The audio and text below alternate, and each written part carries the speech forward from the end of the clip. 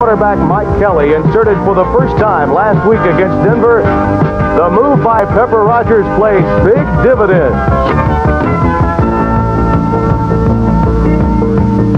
Defensively, linebacker John Corker regained his USFL Player of the Year status with sacks like these against the Gold. The Gold's run and shoot offense was in retreat most of this night. Pepper Rogers' club has been riding high. So tonight, it's the renewal of the USFL's great Southern rivalry as the Memphis Showboats play host to the Birmingham Stallions.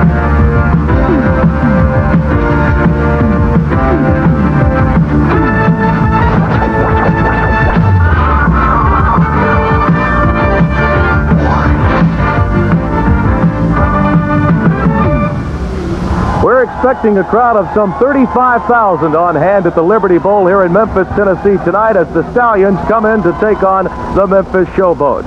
If you look at the standings in the Eastern Conference, it'll tell you just how big this game is, especially for Memphis.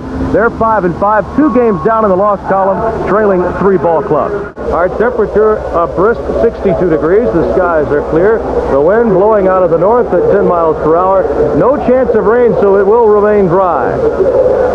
Rollie Dotsch, the head coach of the Birmingham Stallions, has had to do more than just be a head coach. He admitted that to us earlier today. And, of course, his franchise has had some troubled times away from the field. But they've gotten through all of that. And Pepper Rogers, who has authored Pepper Ball, he's got this team all pumped up. He has always defied the odds. Rogers' club now 5 and 5. Marv, here are your keys to victory. How do you see it for both squads? Well, first of all, Birmingham has to pressure the passer. They've got to take the rhythm out of Memphis's game, and they'll help their own corners. They need to have the big play. They haven't had it. They've got the potential in Jim Smith and Cribbs. They've won the turnover battles in the past to put them on top. They have to continue to do so. Memphis has to protect that passer. They were sacked 10 times in their previous meeting. That can't happen again. They have to have an effective running game. They have to have it from the running backs now that Walter Lewis is gone, and they have to win the turnover battle like Jacksonville did last week in defeating Birmingham. We should mention that Pepper Rogers has done a lot to orchestrate this uh, last couple of weeks of action that have been awfully good to him. He's made a lot of moves during the course of the year. There's Birmingham leading the series three games to none. In fact, the Showboats haven't really been close. They were beaten 34-19 in their last meeting. The Stallions have outscored Memphis 123 to 45 in three games. There's a look at Danny Miller, who will be kicking off for Birmingham. They'll be in white, trimmed in red with the gold headgear, 5'10", out of Miami of Florida. Miller's had a pretty good year. Henry Williams, a guy they'll try to stay away from in terms of kicking off. He's an excellent return man. He's back deep. And he'll be joined back there by Derek Crawford and a couple of other upbacks. But it's Williams the dangerous one that's awaiting this kick.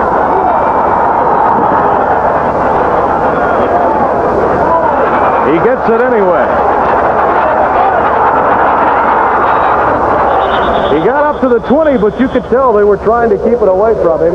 Fletcher Llewellyn made the stop for Birmingham. Llewellyn was just activated for this game. Mike Kelly making his way onto the field. He's posted some good numbers, but the 16 of 30 last week was a key. And here's Walter Lewis in the game as well.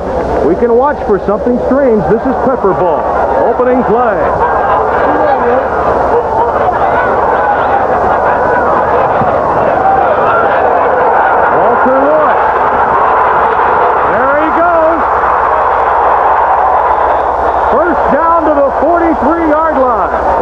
Pepper's pet play. Us about it before the game, of course. Both quarterbacks in the game. There's the way they lined up. Number 10 was Walter Lewis back behind the center, designated by that X. Number 12 was Mike Kelly, and he faked the handoff to Kelly, we can take a look at the play again. Ball is snapped back in a sort of shotgun formation. Spread him out all over the field for a great broken field runner. Harry Sydney gets a key block, and Lewis gets a big gain, setting the tempo. First and 10 at the 43 for Memphis. Kelly fires incomplete. Intended for Moser. broken up by Dennis Woodbury. Offensively, at center will be Larry Rubens, Tyrone McGriff, and Ken Smith will be the guards. At the tackles, Luis Sharp and David Huffman. The tight end is Gary Shirk, a veteran of many wars. Derek Crawford will be the wide receiver. Moser the flanker. Kelly, Sydney, and Spencer are the backfield. There's Walter Lewis, the leading ground gainer for the Showboats. He's on the sidelines tonight. That's Spencer. Not much there. Purifoy made the stop. Well, I'll tell you, Pepper solved the quarterback controversy. He started both of them on that first play. Third down and nine yards coming up. There are Spencer's numbers. He's been ailing of late. He's been trying to rehab some knee problems, and he hasn't come along as quickly as they'd like. It was a serious injury. He's worked hard at bringing it back, and he's getting a little bit better, but he's not where he was during the past two seasons. Third and nine.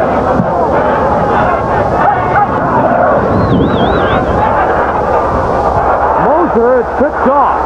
Flags are down. That's Mickey Sutton with it. And then he fumbles. And they're going to give it to Memphis, or at least one official is. There's also that penalty flag that is going to figure into this, too, I'm sure, Tim. That's Ken Smith on top of it with a recovery. He and Larry Rubens were in the general area. Pass interference, number 21 on the defense. First down. Well, that was Dennis Woodbury interfering on a on the pass play. It was a hook pass going to Mosier, I believe, and uh, he did interfere coming in for. it.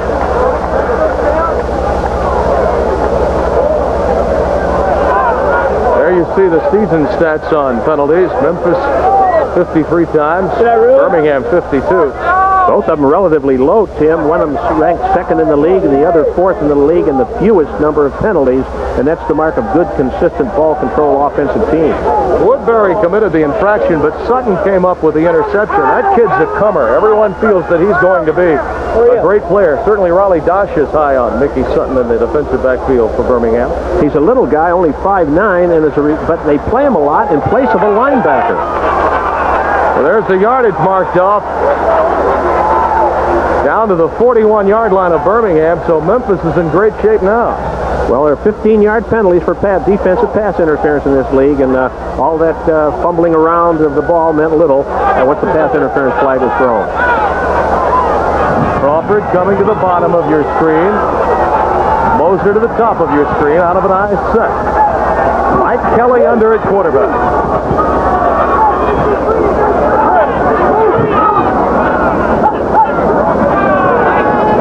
Moser again.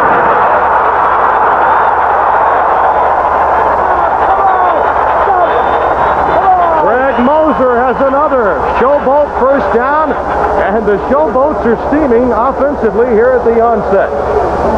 Here we get a look at Moser. He's one-on-one covered by Dennis Woodbury, driving into an area that was vacated because the strong safety was covering the tight end in the flat.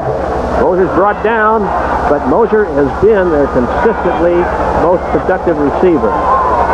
They call him a possession receiver, but you look at him and you think that. He does look a little like Biletnikoff of old, but he's the guy they like to go deep with from time to time. First and 10. Kelly again.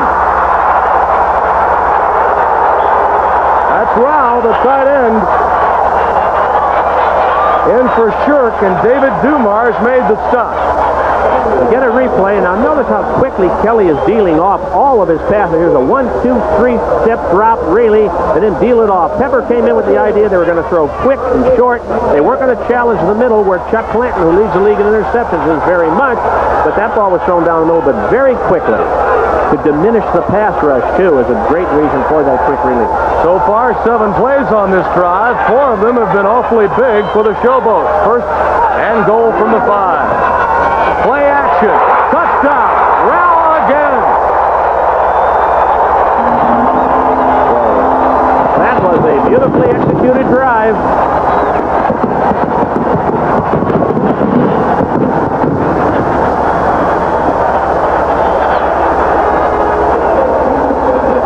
Is wide open on this. There's a play action fake, fake of a sweep to Spencer. Kelly comes out. You see Rouse standing all alone in the end zone. Whoever had hit him on coverage bit on the play fake. Bit on the play fake, came after the run. Kelly again dealing off very quickly. Oh, he loved it, didn't he? Did Mike Kelly? Duncan with the extra point.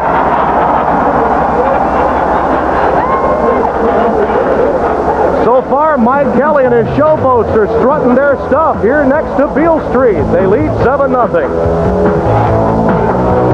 Memphis leads Birmingham 7 to nothing off some play action and a heck of an eight-play drive here. Again, the fake to number 46, Tim Spencer, who blocks the outside blitzer who's coming. Tim Rowell all alone in the end zone. Either the strong safety or free safety would have coverage on him, and you don't know. It depends on the coverage, but whoever had it lost it.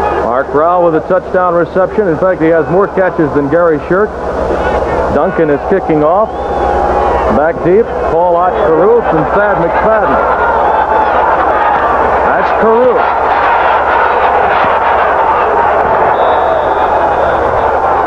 Spun down at the 25 by Anthony Parker. First and 10 for the Stallions from that point.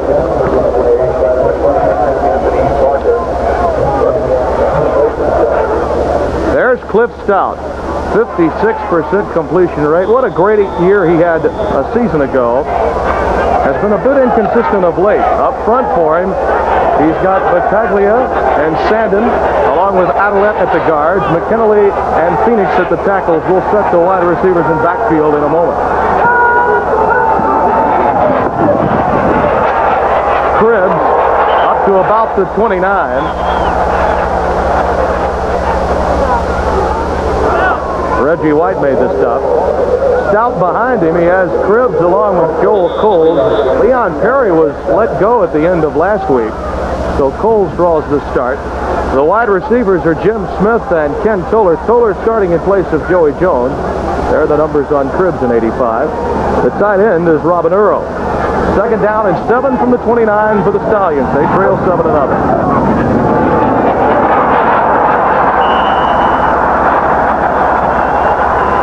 Bevy of showboats led by Sam Clancy. Clancy along with Reggie White and Calvin Clark.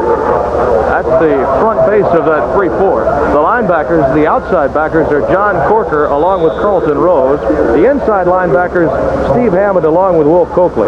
Coleman and Cade, Leonard Coleman and Mossy Cade, they're two standouts at each corner. And then Barney Bussey and Don Bessillieu, recently acquired, are the safeties for Pepper Rogers' club. Third down and four after the gain of three by Chris.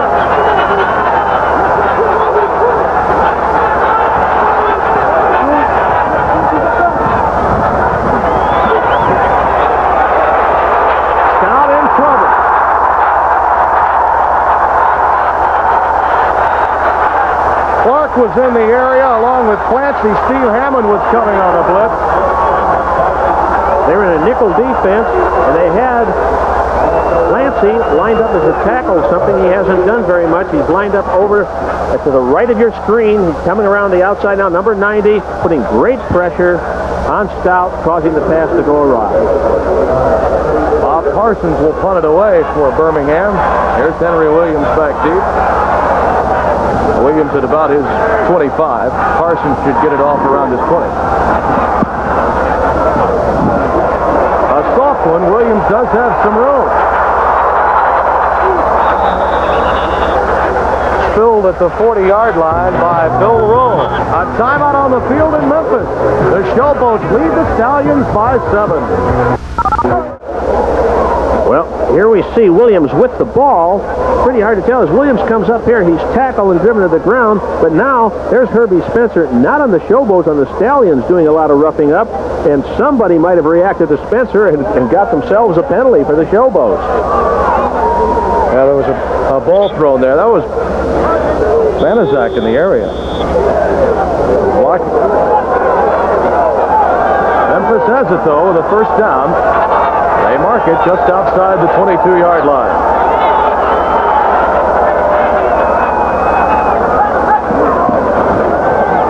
Moser, another quick out pattern. Been working like clockwork. so far for Pepper Rogers, those quick ins and quick outs. This is what he wanted to come into the game doing to take the pressure off the pass rush. Also, something very crucial here, Memphis has scored first. Birmingham usually outscores their opponents heavily in the first quarter, and if they do, they can stick with their ball control offense. But if they fall behind, they may have to leave their basic game plan. Kelly took his team 79 yards the last time he had control of the football. He looks at a second and five here. Spencer about a yard away from the first down. Mike Perko made the stop for Birmingham. Defensively, the Stallions have Purifoy, Jackie Klein, Doug Smith, and Mike Perko. The linebackers, Herbie Spencer, Bill Rowe in the middle. Ken Kelly, the weak side linebacker. The corners are David Evans and Dennis Woodbury. We'll see a great deal of Mickey Sutton we already have. David Dumars along with Chuck Clanton in the defensive backfield. They're measuring here. Well, they were closer than a yard away, but still they have some terrain to cover before they come up with a first down. There's the animated Pepper Rogers. Done everything but play the guitar at home. He's played the guitar on the road on the plane for his team. Dressed up like Doug Flutie once. Pepper is quite an entertainer. Entertains his own team as well as the fans. Third down and less than a yard.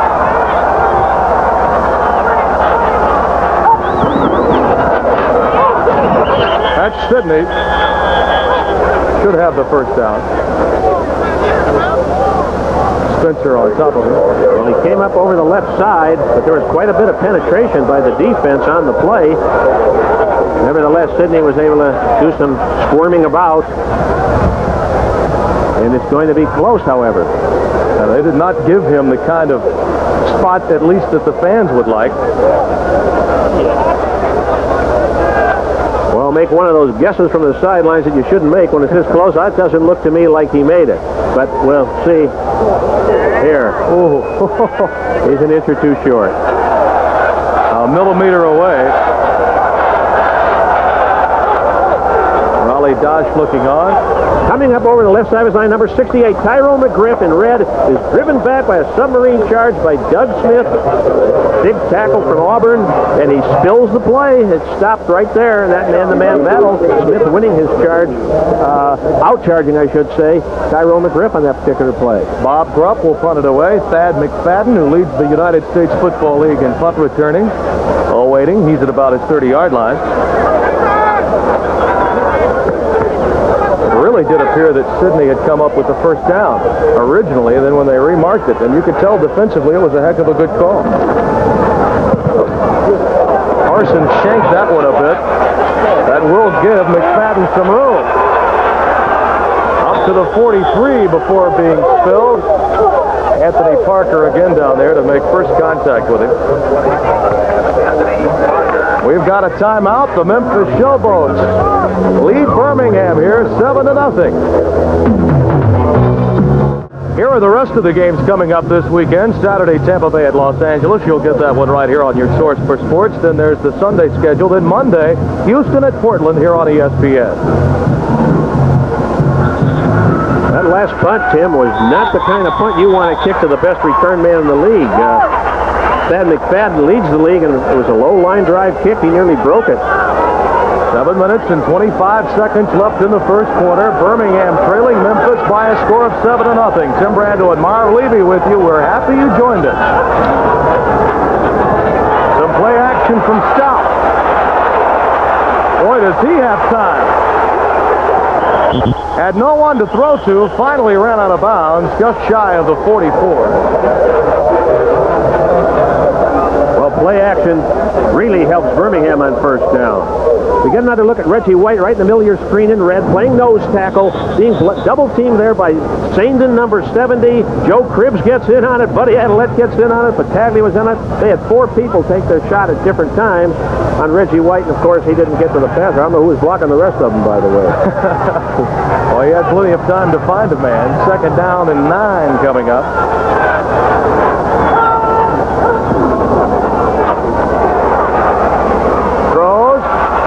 Robin Earl. Earl just shy of the first down. Or he may have it. We'll wait for the mark. Will Coakley, along with Leonard Coleman there to knock him out of bounds. Stoudt came back with a pattern. It wasn't the same play fake. With a pattern identical to the one he had the previous down when he should have thrown into the flat to Robert Earl and didn't. He realized his mistake this time, came right to Earl. Rollie Dotsch has really had some depleted receivers of late. He's lost a bunch of them. Joey Jones, his mother, became seriously ill on the way here tonight, and he's not playing. Ken Toler is in for him. Mason is out of the lineup, so Robin Earl drawing the start at tight end. There's the bomb. He's looking for Smith. Intercepted inside the five, it appears. Yes. Well, I'll tell you, if it was going to be incomplete anyway, he was better off having it intercepted because it's... it's Number 53 on the defense. We've got a marker down. They may call it back. Coleman came up with it. He was fighting with Smith inside the five-yard line. Well, apparently penalty on the play. Here's John Corker, number 53. Offside just before the snap. He's at the top of your screen. He was blitzing on the play. Was picked up, wasn't a factor on the blitz, but the offside nullifies the interception. That wouldn't have been too bad because they're way down there five, but it's a first down. Yeah. Pepper Rogers unhappy perhaps a bit about that, but you're right. They would have been on their patio with the ball had he been given credit for the interception. First down and 10. Birmingham now at the Memphis 43. Single setback. That's Cribbs, and he gets it. He got away. He's got some room on the weak side. First down to the 26. Bessillieu finally got him. Well, you can't draw a play like that as a coach. There's no way you can put that one on the blackboard. Reggie White had him stopped, Great back like Joe Cribbs, pulled away, reversed his field. Here you see he's trying to hit up over the right side, takes a little counter step. He's wrapped up in there by White and gets spun around. Barney Bussey almost gets in on it, and the side of the field is denuded. Cribbs knows where to go with it. They mark it at the 27-yard line. First and 10 Birmingham. They trail Memphis 7 to nothing with 5.45 to play in the first quarter. Toler's got it at the 18 and was he hit. The first guy that got him was Mossy Cade. Ken Toler, eight receptions for 150 yards. As we mentioned, Preston to duty tonight with the loss of Joey Jones. That was quite a grab by Toler. His uh, average per catch is pretty good, 18.8. Got good deep speed. It was a good catch. It takes a lot of courage and concentration to make that kind of catch. He got nine. It's second down and a yard to go. So Stoudt can exercise a lot of options here. He goes with the basic one inside the 15 to the 14. Joe Cribbs, Bessillieu made the stop. That's Rollie Dotsch football, though, isn't it? Well, yes, and particularly here, that was an inside trap play, and what you look for down here a lot is safety blitzes. Everybody blowing up field, and they're easy to trap because they're not under control and reading the block. The defense isn't under control, reading the blocking pattern. They're laying back their ears and coming up field. A trap is a good play at that part of the field. You either get nothing or you go all the way into the end zone. Memphis leading Birmingham by a touchdown, but the Stallions are on the move. First and 10. He's looking and close to the secondary receiver. That's Cribb. Stopped at the 13 by Will Coakley. Coakley out of Kansas in his fourth year as a pro. Now, one of the standout players in the secondary all season for Memphis, and probably unheralded because of Mossy Cade and Coleman and Barney Bussey. He made a fine play there. Bussey, uh, see him number eight, dropping back in a deep zone to take away the in pattern. The ball's flared out wide, and he really turns it on, runs all the way across field to help get in on the tackle. He's not the primary tackler, but he would have been there had he broken the tackle. The ball carrier broken the tackle. Second and 10. Oh, option series here. Reggie White's there. Sam Clancy, I beg your pardon. Clancy, about the same size as Reggie White, 6'7 and 260 pounds. He was not fooled that time. Another look. Stoudt take, makes a reverse pivot. Now he's going to come down the line trying to run an option against Carlton Rose. And I don't know why he didn't keep coming. Uh, he should have kept coming. He sort of pulled up and tried to duck inside and just that slight delay put Sam Clancy, who you see right there, in his face. Clancy has not played up to expectations this year. He's been hampered by a hamstring, looking pretty good tonight. You know, he didn't even play football in college. He was a basketball player at Pitt. He's become some pro in this league. Third and 13. That's Cribbs.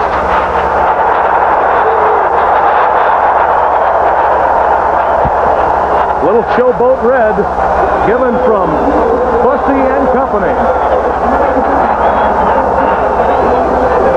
Well, people will question that call, but last week in a very similar situation, Pepper Rogers ran a similar play and scored with 14 seconds left in the half. You hope to catch the defense playing pass and hope that a great back like Cribbs can take it in. If not, they're going to try a field goal. When it doesn't work, I have to say it's surprising they didn't throw. Danny Miller will try the field goal. Bob Lane will hold. It'll be a 31-yard attempt. He got it.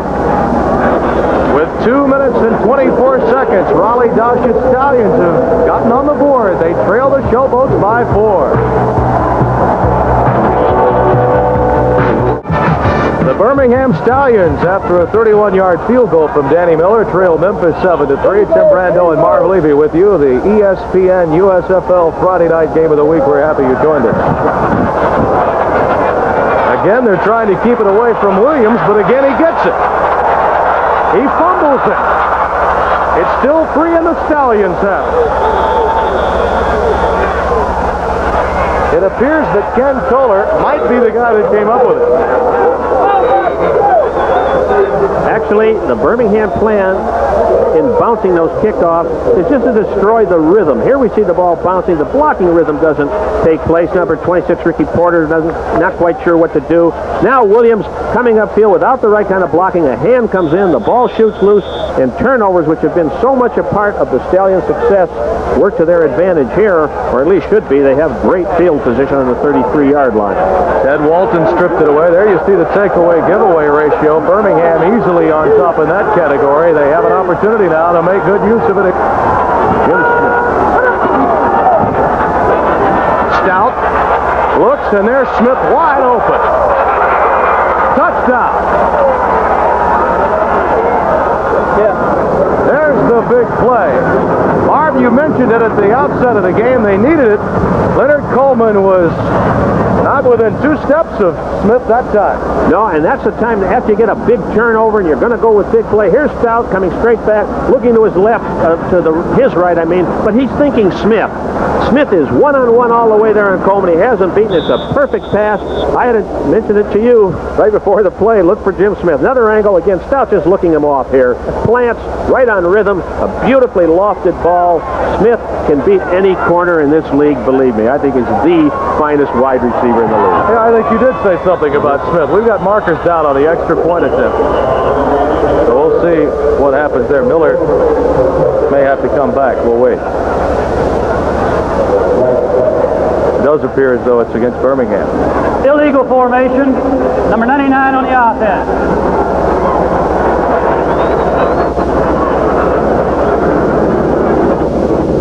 Well, that could be a multitude of things. A man could have not reported. He could have lined up off the line of scrimmage or too close to the line of scrimmage. Where 99 is Ron Padgett. Normally a defensive lineman who they specialize in on these kicking teams. There's Jim Smith. Some believe that he's the best wide receiver in this league. 33 yards on the touchdown reception from Stoudt. Suddenly now Birmingham up by a deuce. They're looking for the three-point advantage here.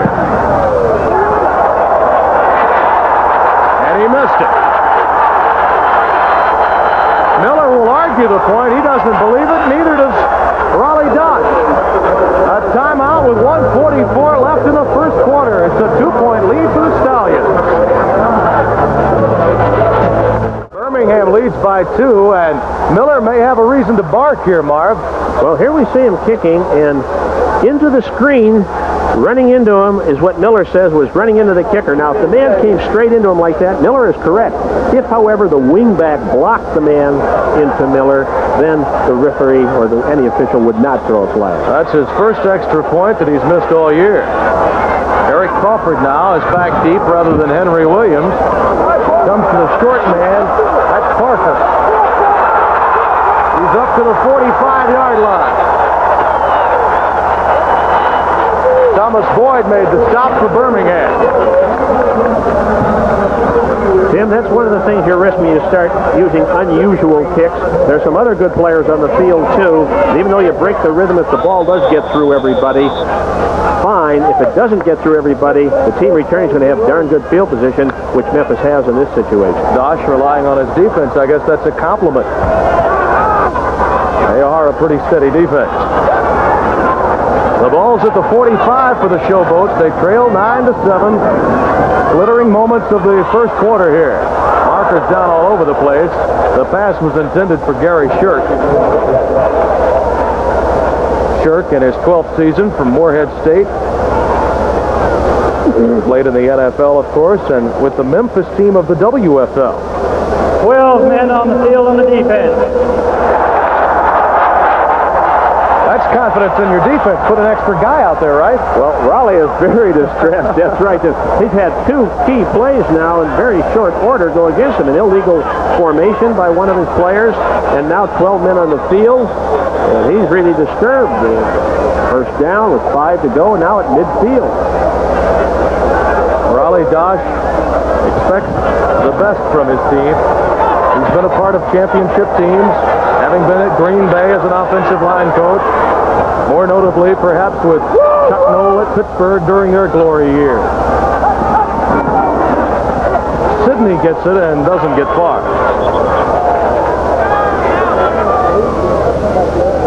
Herbie Spencer made the stop along with Purifoy. First and five is probably the heaviest running down you're going to get out in the field right here.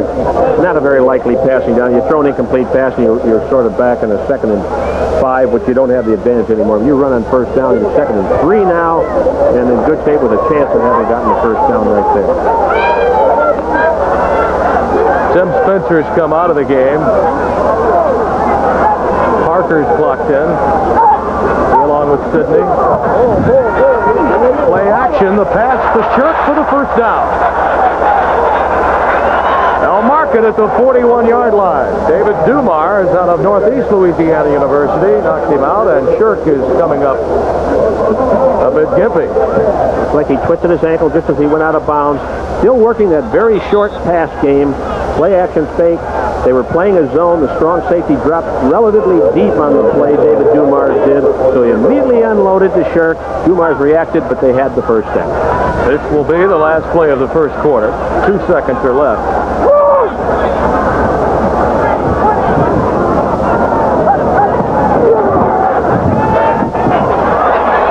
Kelly to Spencer. Mickey Sutton with the open field tackle. And that's the end of the first quarter.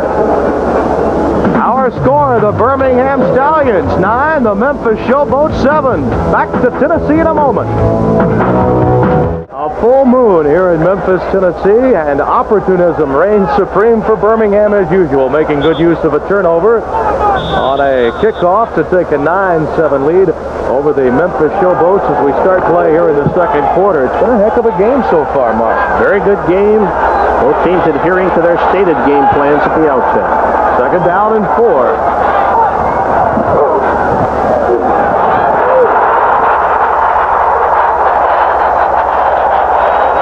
Quite a run there by Ricky Porter.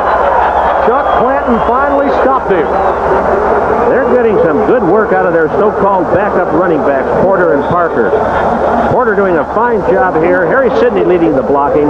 They bring it back to Porter. There's a gaping hole on that side.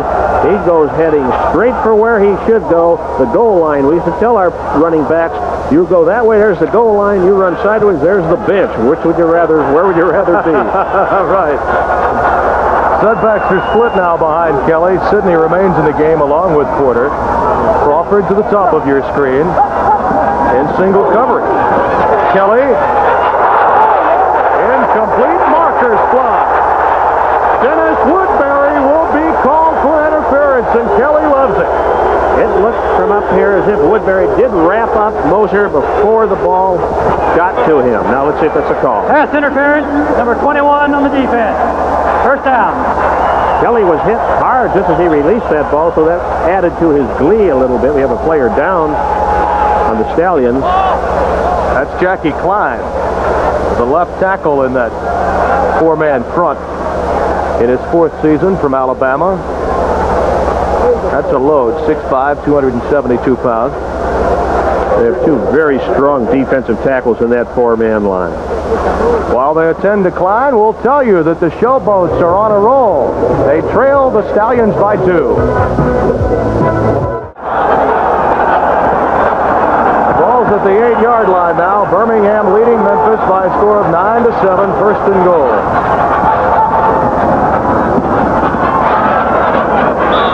That's Porter again. Ricky Porter. Dave Purifoy made the stop for Birmingham. That was a formation which said they're going to sprint to the right. Kelly starts out to the right. Porter taking it on a counter play with Huffman and also Ken Smith pulling, but they had it analyzed. They stopped it. This is a strong, tough defense that they're going against here. And the Stallions, and they moved the ball pretty well so far. This is a play action down or a pass down, really. Russ Bolinger has come into the game at left guard for the Showboats. Crawford went with the out pattern, and Kelly expected another move. He didn't well, get it. Well, what happened there, it was basically an out pattern. If the defender is off of you, if the defender is up crowding, the receiver is supposed to just take off and you're going to try and lay it over him. You won't run the out. They misread it. Crawford felt that Evans was off of him. Kelly felt that he wasn't off of him. Kelly expected him to go up, upfield. Third down and goal now at the nine. Crawford will go to the top of your screen as you view it.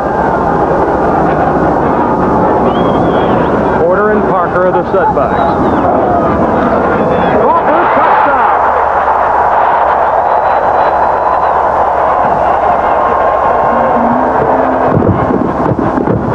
David Evans was caught in single coverage that time. And it's 13 to 9 in favor of Memphis now. Well, it is. It's the same pattern that Walter Lewis favored down here, by the way. There's quick slant in to Derek uh, Crawford. Derek Crawford. Very good. One-on-one. Evans is looking in at the quarterback rather at the man he's supposed to, he's supposed to cover, which is a mistake. You can look in there if you're playing zone, but if you look at man, you better look at the man you're covering. Crawford's too quick anyway and beat him.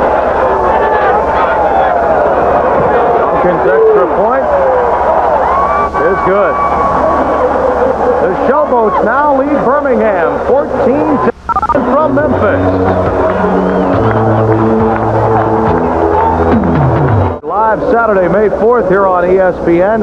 Tampa Bay and Los Angeles coming up right here on your source for sports tomorrow. There's, there's Derek Crawford.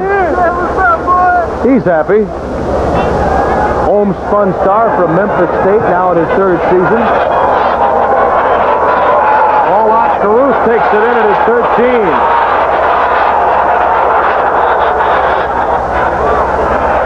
Cade knocked him out of bounds at the 25.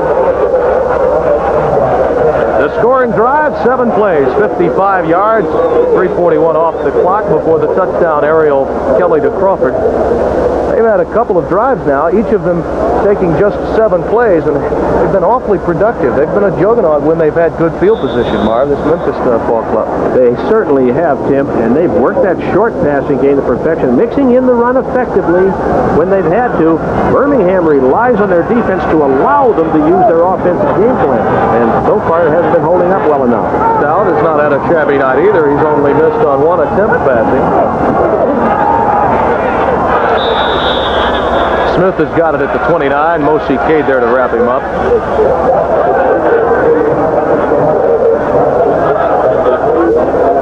He's jawing a little bit with Mossy right there.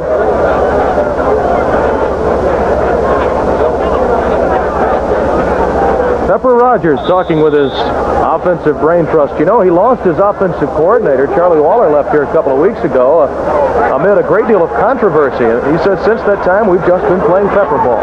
Well, he sort of reassumed control of the offense, and those things happen. There's some uh, uh, taut nerves about this time of the year in coaching. Second down and five for Birmingham, just shy of the 30. Some room to perhaps run, but can't get away from Calvin Clark. Stoudt has hurt Memphis on many occasions in the past with his scrambling ability. They just drop back and play a very pure zone coverage here. Nothing is really open. Stoudt can't find anything. He thinks he sees a crease up the left side, but great reaction there by Clark. Holds it to a very minimal gain by Stoudt of Purdue is Calvin Clark in his fourth professional season. Stoudt's not given enough credit for being a good runner. He has been able to chalk up some yardage. Third down and four now out of the shotgun.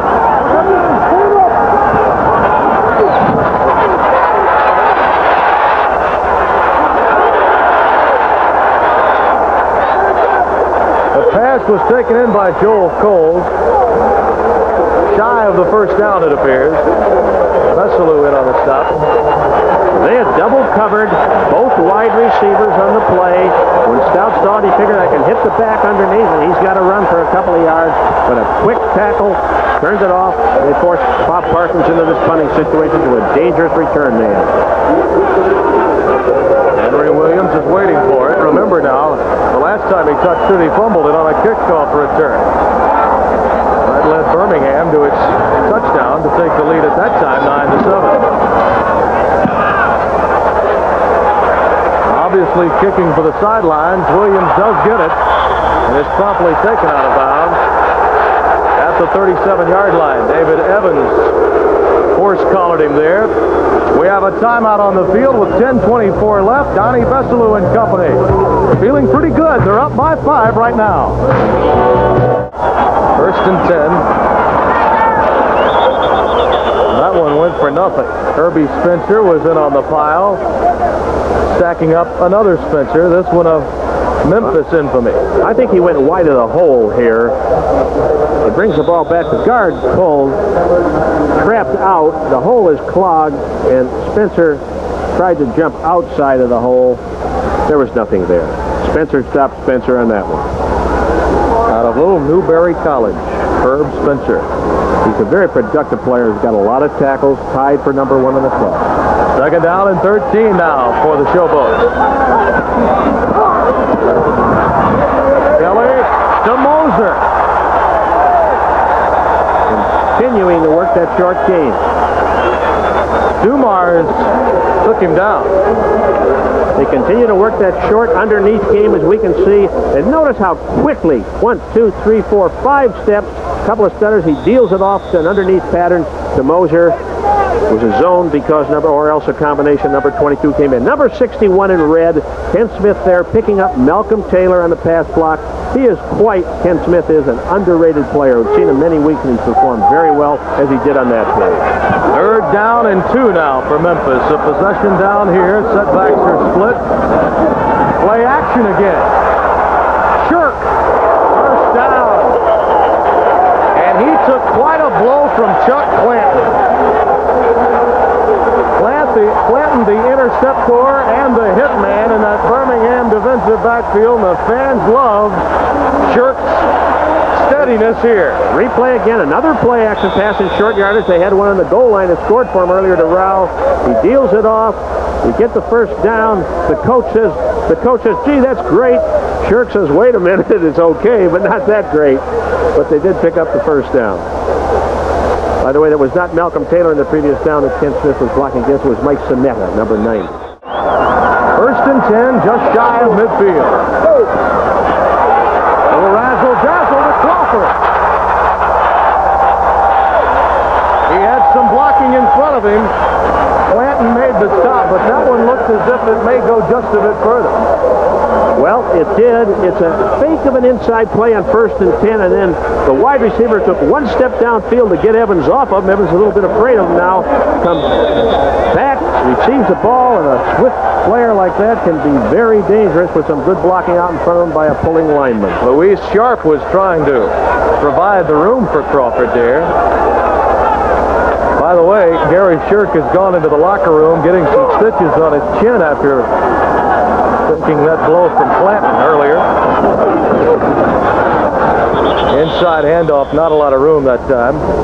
Oh, you just do not run into that Birmingham defensive forward wall and get a lot of yards that often. That time it was Spencer, bottled up after a couple of yards, second down and eight. They're very difficult to run against. They give you more and varied defensive looks than any other team in the United States Football League. All types of combinations of alignments and of personnel. A lot of two linebacker defenses or three linemen, three linebackers, five defensive backs. You have to audibilize a great deal against them in order to, when you see a weak spot, to try and attack. Second down and a long eight for Memphis. Kelly with time.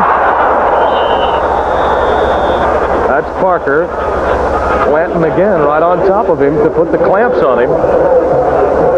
It'll be third and three after a gain of five. You talk about offensive schemes, but in order to have an offensive scheme, if you're Rollie Dotsch, you have to get good defensive play, and that sets it up for Birmingham game in and game out. There's no such thing, Tim, as an offensive game plan that's going to work if your defense doesn't play well. If they don't play well, you're struggling to get back in the game all the time, and all those offensive plans go out the window. With a good defense, you now have an offensive plan that you can put into effect. If it doesn't succeed this series, you're still in the game next series and do it. The animated Pepper Rogers with Walter Lewis by his side, looking on. Third and three. Kelly has his man again. That's Moser. Dumars stopped him. The crowd loves it, and Memphis's drive continues.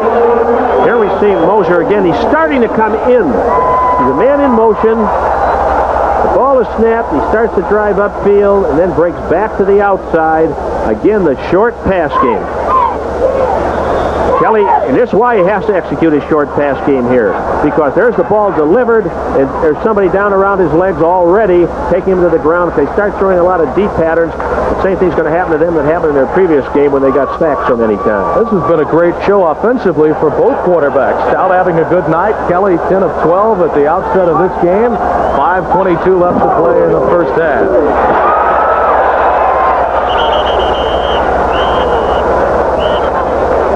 Anthony Parker. Spencer and on the stop for Birmingham. They're getting an awful lot of mileage, the Showboats are, from those two backup running backs. Anthony Parker and Ricky Porter are, are carrying a bigger and bigger load each week, and I think they're trying to take the load off of Tim Spencer and let Spencer work back in and gain his confidence and eventually blossom back to where he was. Walter Lewis, the leading ground gainer for this uh, club, still has the longest gain from scrimmage off the, the Pepper Pet play. First play of the game. Second and five.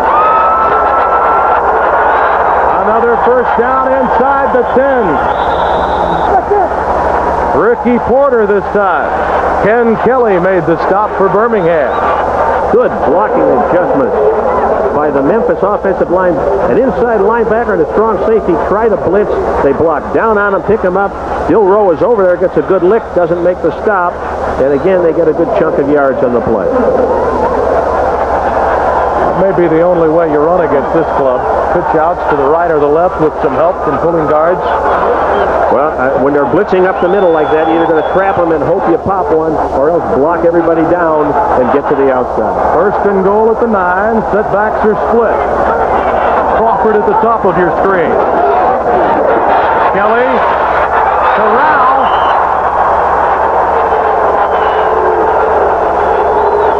Filled at the three-yard line. Bill Rowe was there, the awfully active middle linebacker for Birmingham.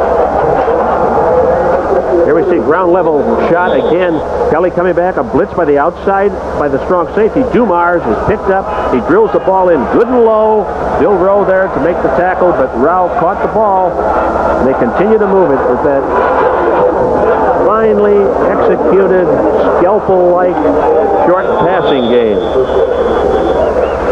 Kelly will take time out to go talk to the surgeon, right? Pepper Rogers is the maestro tonight. He's been pulling all the strings in Memphis. Well, he's having fun. And as a head coach, I think you have to involve yourself heavily in one section of the game, whether it's offense, defense, or kicking. Kelly has hit 13 out of 15 passes tonight for 120 yards. Quite a performance. Second down and three. I think they're going to run here, too. So does Birmingham. They didn't. And they would have had a touchdown. Ralph slipped. He couldn't get his balance in the end zone. Actually, that play was designed on the off the inside fake for Kelly to really get wide and attack the corner and had the option to run or pass. The defensive corner blitzed on a wide angle and contained him, made him throw earlier than he would have liked to. Took away the run option completely. Rollie Dotsch, you got to believe defensing this, this club from Memphis tonight is pretty difficult because they've been throwing everything but the kitchen sink at Birmingham. Just over three minutes to play in the first half. The Showboats trying to pad their lead here. Third and three. Spencer Lawson. Mickey Sutton was in the general area. He may not have gotten into the end zone had he come up with it, but it should be field goal time for Alan Duncan. Kelly's upset with himself. Well, it was a tough ball to catch the way he threw it. He did hit him on the hands, but the receiver was going away from him and had to look back very sharply over his shoulders. He put it in his back ear over his back ear, making it a difficult catch. Not a lot of room, though, for Spencer once he turned around, even if he had come up with it. That would have been a battle between Spencer and Sutton, as you had pointed out. 20 to 29 is a good distance for this guy. It would give Memphis an eight-point lead. From 20 yards, he nails it. The Memphis fans are happy about Alan Duncan, a guy that was cut after a game just a few weeks ago, then returned, won a football game, missed a few kicks against New Jersey. He's been on a bit of a roller coaster ride himself. He's been up and down, but most of those kickers are. It takes quite a while or tremendously successful season before they can establish themselves. And when a kicker is having a little trouble, I used to really hope, I hope he gets a couple of short ones, really short ones. If he makes them, it bolsters his confidence, and if he can't make those, it makes my decision easy in terms of bringing back another player. Look at this. First half dominance for Birmingham. In both games, they got off to great starts. This time, they're down 17 to 9, so that may tell us something in the second half. Well, certainly this pattern is different from the previous games between these two teams. Memphis leading Birmingham 17 to 9. Three minutes left in the first half.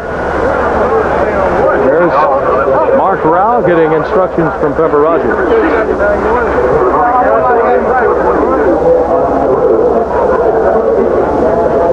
Duncan will tee it up. Back deep. Paulot Carew. And also there with him, I think it's Thad McFadden, number McFadden, the number one receiver. He's great on punch. Let's see how he handles this kick. McFadden up to the 31-yard line. Parker and Porter both were there to make the stop. McFadden looked pretty good to me on that. Yeah. They think he'll be a heck of a receiver someday soon, too. Thad McFadden. Rollie was saying that today. He's very pleased with him as a kick returner and said, and, and he went out of his way to make the point you've just made now. Two minutes and 45 seconds left in the half. Birmingham trailing 17 to 9. We're on ESPN. USFL action on this beautiful Friday night in Memphis, Tennessee. Tim Brando and Marv Levy with you. We're happy you joined us. Cribbs the lone setback for Stoudt. That's Jim Smith wisely going out of bounds at the 39. Corker and Hammond were in the general area. Smith took the easy way out. They're playing a little bit looser. Stoudt coming back. Stoudt does a good job of reading the entire field. He looks downfield for his wide receiver, sees that there's been a deep drop to take it away, so it knows that Smith is coming across underneath and hits him there very effectively, and Smith steps out of bounds, kills the clock, and doesn't take that lick from Corker that was coming up.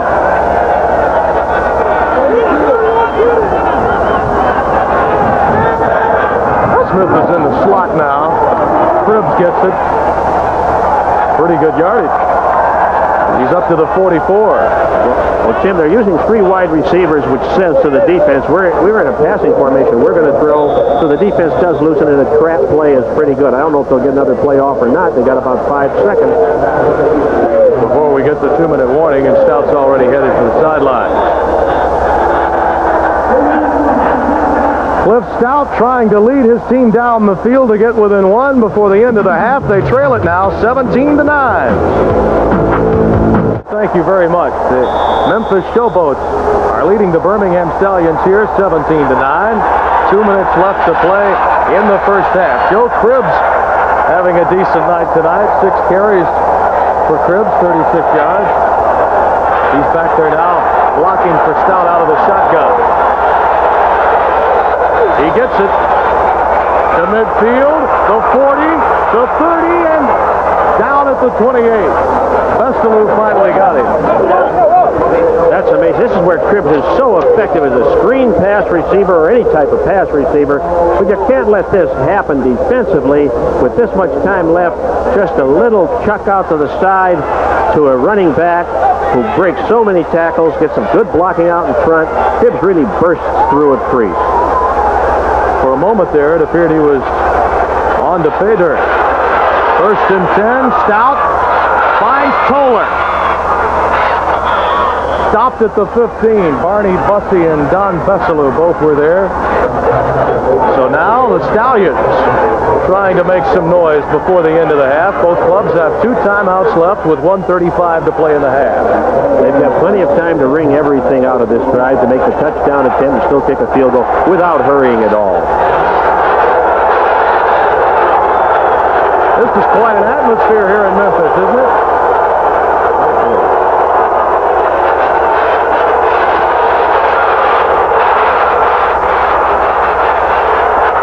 Stoudt finally stopped by Corker. He nearly got away from Corker there.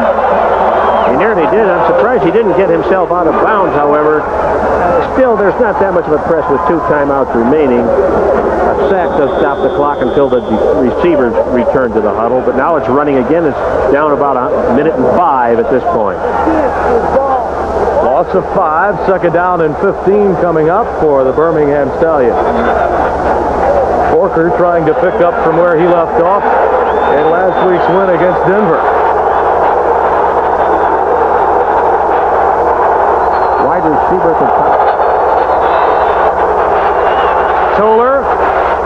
And no, it's going to be Schmidt. He stopped at the 15-yard line.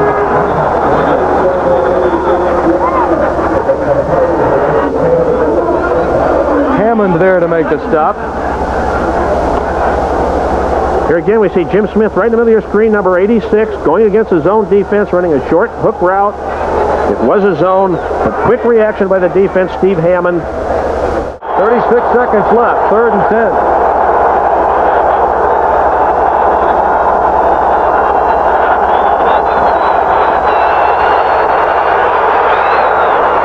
Touchdown, Smith.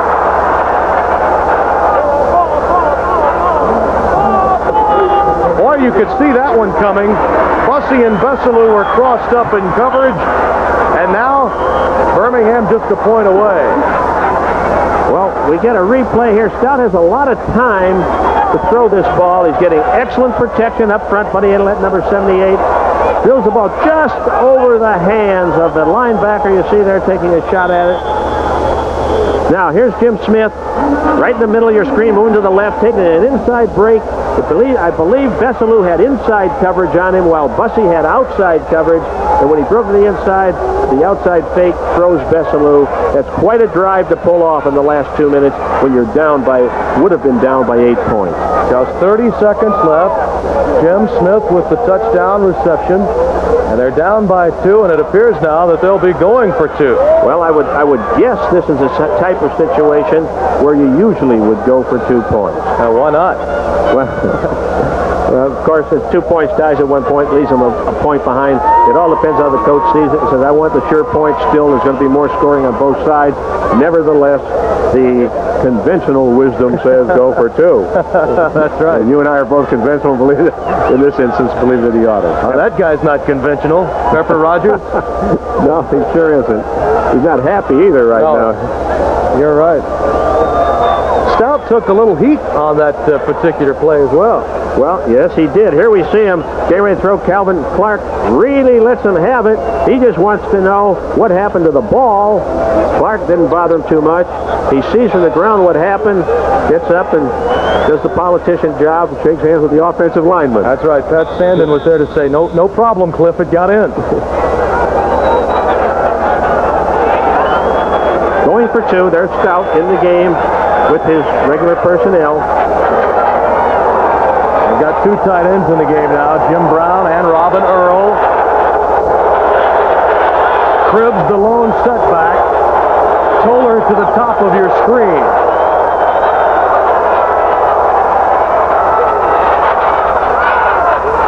That's Toler. No signal as Still yet. haven't called it. No, they haven't. Still haven't called it. Dotsch may throw the red flag here. Yep, they're giving him it, yes. Well, we may see a red flag for Pepper just because what do you got to lose with 30 seconds to go?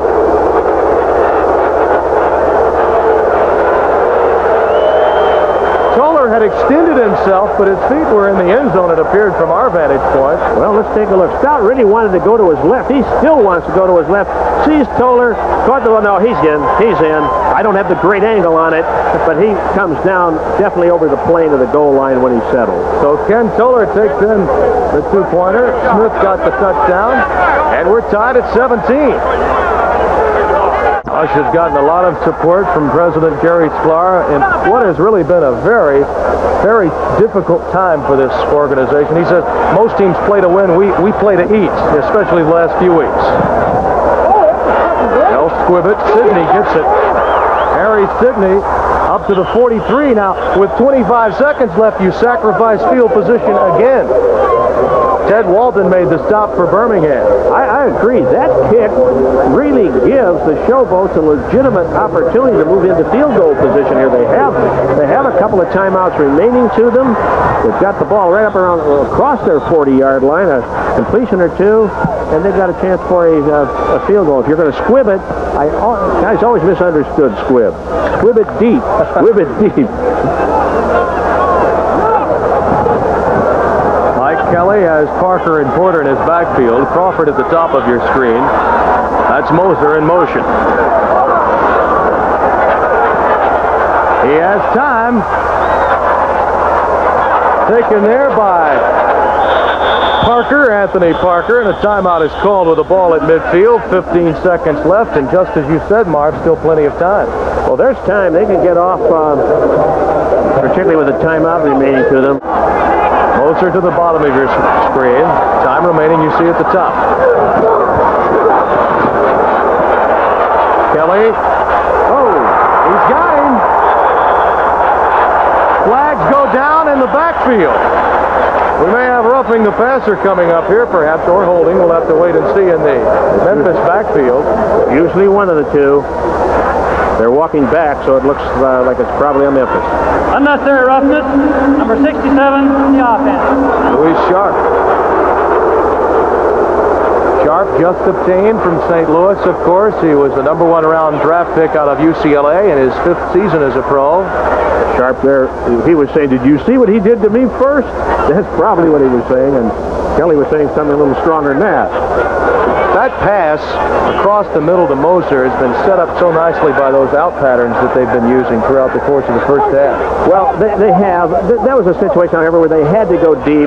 They felt they had to go down the middle. They could afford to risk an interception there in order to try and get closer. He really laid the ball right over the linebackers into the crease of a deep dropping zone there.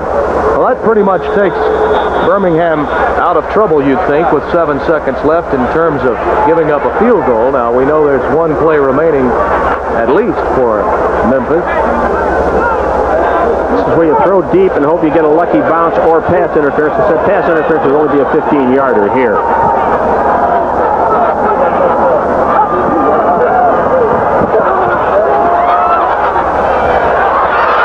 Off by Spencer, Herbie Spencer.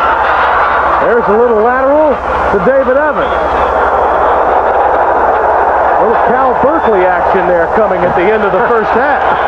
Yeah, they played it better than Stanford Band on defense. And we have a little more action along the sideline, and the Memphis sidelines has made its way over to Birmingham. These two clubs really don't like one another. There's a lot of ill will here as we come down to the end of the half. Yeah, they don't like each other.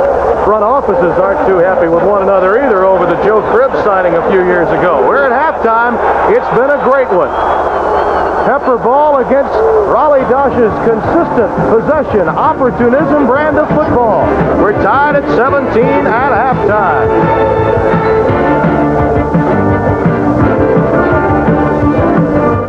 Jim Smith has had an outstanding evening. Five receptions, 66 yards, two touchdowns.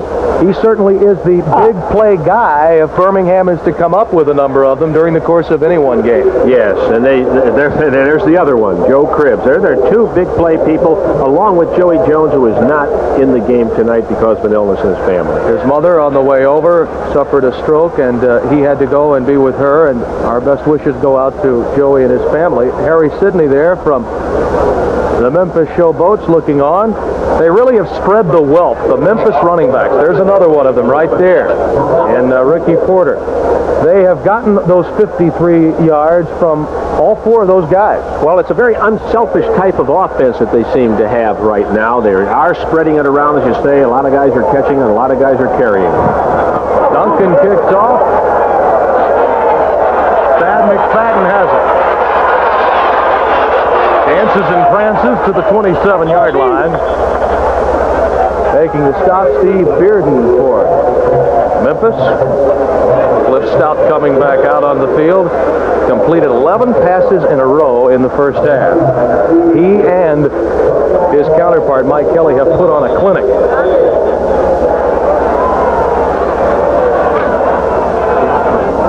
You get the feeling that Smith and Stoudt, because of their background in the NFL, they know one another so well. They have a feel for one another from time to time. They just smell a big play. First and 10 from the 27.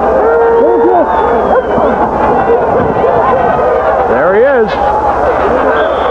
Smith's got it between two defenders, both Bessillieu and Coleman. It's up to the 38-yard line for the first down. Smith is split wide to his own left out here. See him start the drive upfield hard, then he runs a good, sharp, slanted break in there, and the ball's a little bit further in front of him than he had wanted it to be with those two guys converging, but his concentration remains keen, and he grabs the ball. Those two guys have played a lot of catch together after practice. You can rely on that. Setbacks are split. Toler up at the top of your screen. Carruth. Spun down hard at the 41-yard line. Bessillieu again there. That is a favorite play of the Birmingham Stallions, just as it was of the Pittsburgh Steelers. It's the fullback trap to the weak side. Franco Harris ran it so well for the Steelers. And this club, under Rollie Dotsch, who coached five years, you see Rollie there, as the line coach of the Steelers, is running the Pittsburgh Steeler offense. That guy with him, Carruth, has a great future.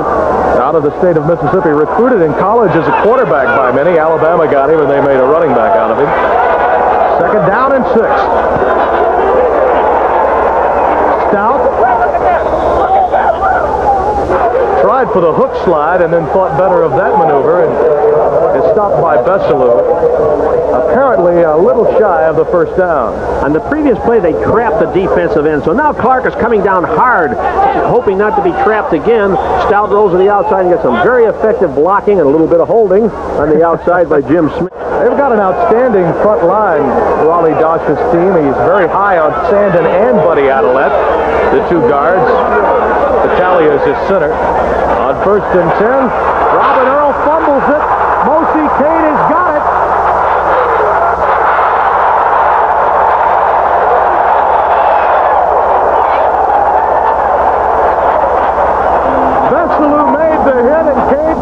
with it. Right a hit there to shake the ball loose from Robin Earl. Mossy Cade picked it up on the bounce and was off. Another look at it. Fake of a trap play here to Joe Cribbs, and a quick pump, and a shot goes there. And there's the hit to knock it loose right there by number 47, Don Bessillieu. Mossy Cade picks it up, and he's trapped, at least he's slowed by Cliff Stoudt, and finally tackled by Ken Toler. Stoudt got over there and didn't want to see that turn into a touchdown. What a one-two punch. Cade,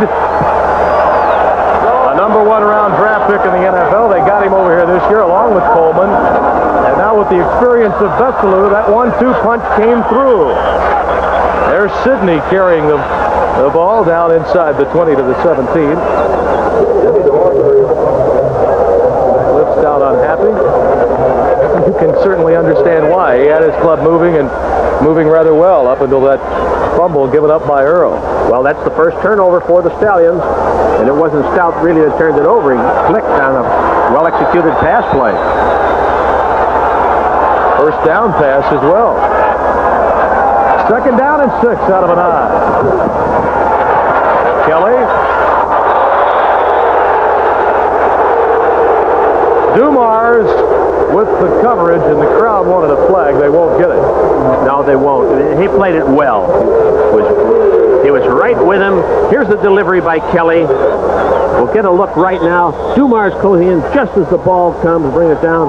I wouldn't call it interference. I think they get called too often on interference anyway, but I'm prejudiced along those lines, and I have been for years. Yeah, you work with George Allen. Easy for you to say. Third and six. Well, I- they make it too tough for the defense.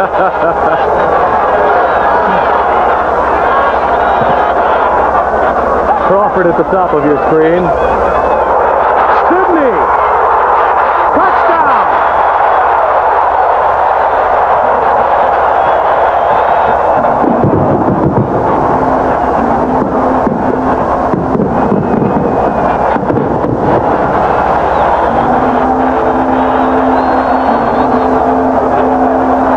Here in the land cotton, he had a lot of terrain to cover. Yes, he did. There's a slant charge there. It was an audible, a good trap block by Ken Smith, number 61. Some fine running by Sydney Tim Spencer downfield, looking for someone to block, at least being in the way. Well executed, and it was an audible call where he picked up something in the defense and told him to call it. Kick is good. And just as in the first half, the Showboats begin steaming and open up with some thunder. They lead by a score of 24 to 17. The Memphis fans love it. Their club up by seven. Carruth is back in the end zone, and there's more reason to cheer now. Well, that's something they've been looking for out of Alan Duncan. Stronger leg on the kickoff. There's a pretty good breeze tonight. It's hard to tell which way it's going. Pepper, get pumped up, will you? He not only puts on a show, he applauds for himself when, it, when the act is over. He won't get Best Dressed Coach of the Year award, but he's happy enough right now. Stoudt's completion percentage. Well, it was a good throw and a good call last night, but doing what's right, there's no assurance that misfortune isn't going to hit anyway. That's right, first and ten. There's Cribbs. He's had a good night so far. He has eight more. Hammond again in on the action, along with Leonard Coleman. Hammond may be one of the more under-publicized linebackers in the USFL. He is. He is tied for the lead coming into this game in tackles along with Reggie White, but he had missed about three or four games. He's been their leading tackler in previous seasons, and he has really impressed me over the past several weeks as we've watched him play. Stays in on nickel defense, plays every down. Harry Sydney just happy to be a showboat on the sideline. Second down and three coming up for the Stallions. Boy, Stoudt was in trouble right from the beginning of that play. Blitzing linebackers and then some. Bessillieu was also coming. Carlton Rose in on the action. That play just had no chance to develop. It'll be third down and three. Carruth was the intended receiver. Well, it was a play-action pass, and a blitz against a play-action pass is sensational because you're not going to be fooled by it. You're not going to say, is it a runner, is it a pass, you're supposed to blitz. You're just coming, and you're more difficult to pick up as the back is faking rather than looking for blocking all the way. Third down and three for Birmingham. They trail 24 to 17 with just over 10 minutes to play in the third quarter here in Memphis.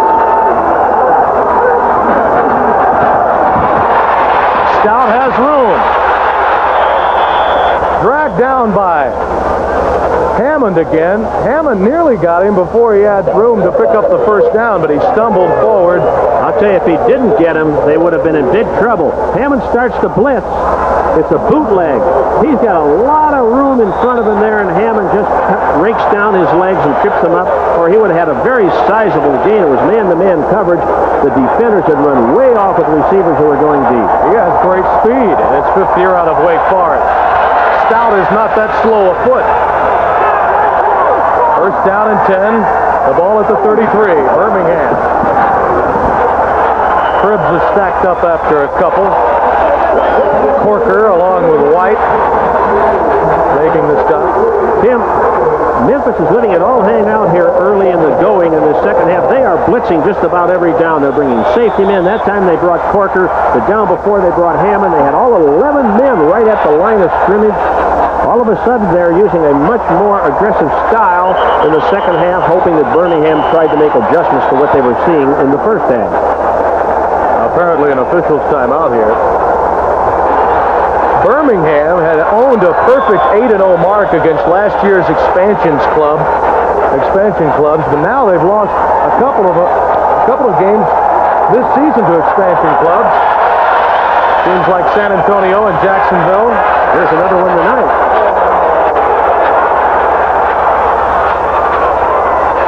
Complete to Robin Earl. Up to about the 43, maybe the 44-yard line. Close to another first down. On a second and eight play, Stoudt again had plenty of time.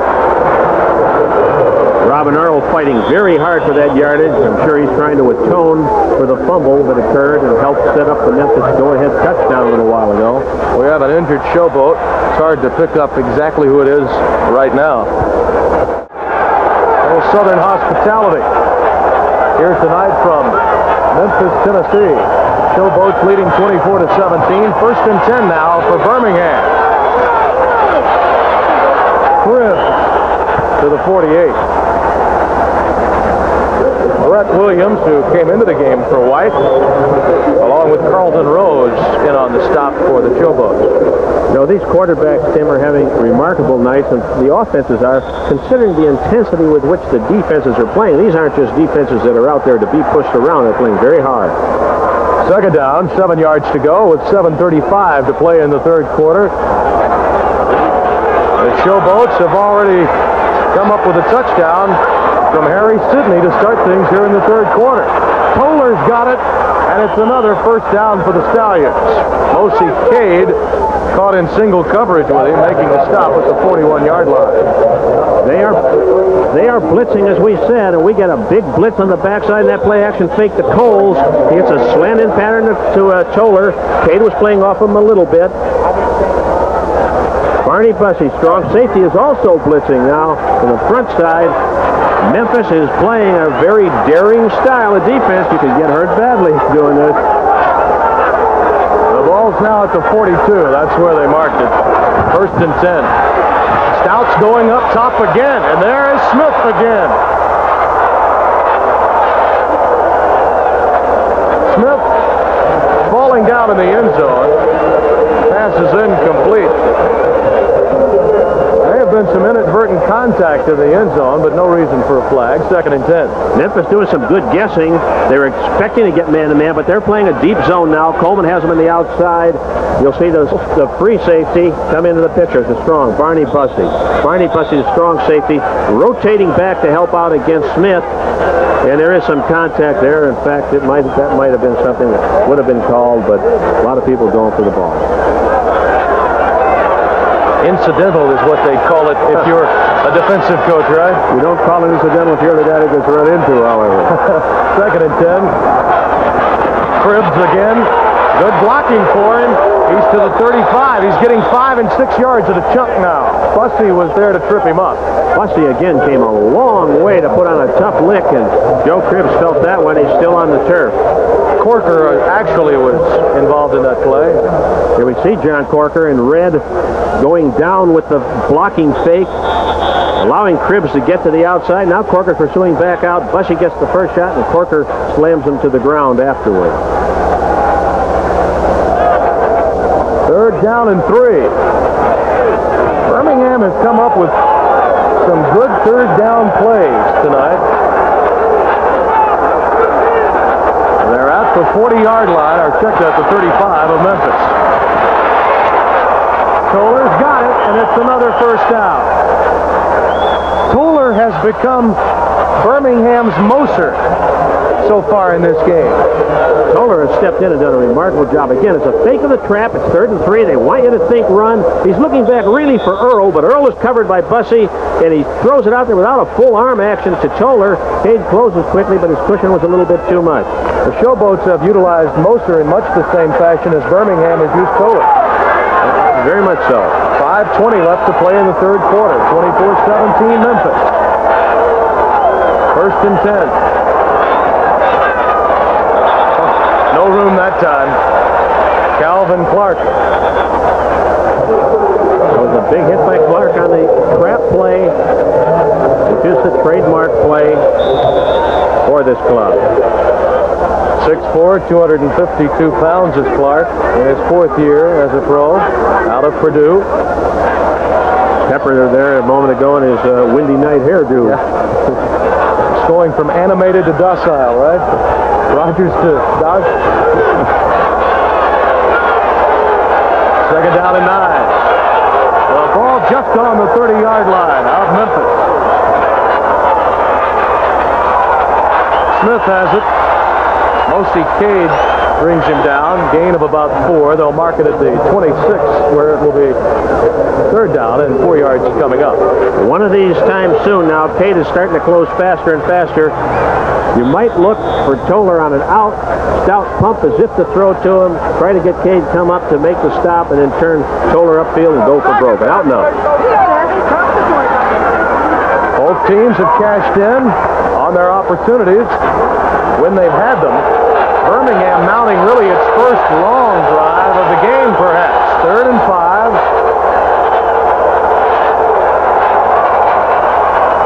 Smith.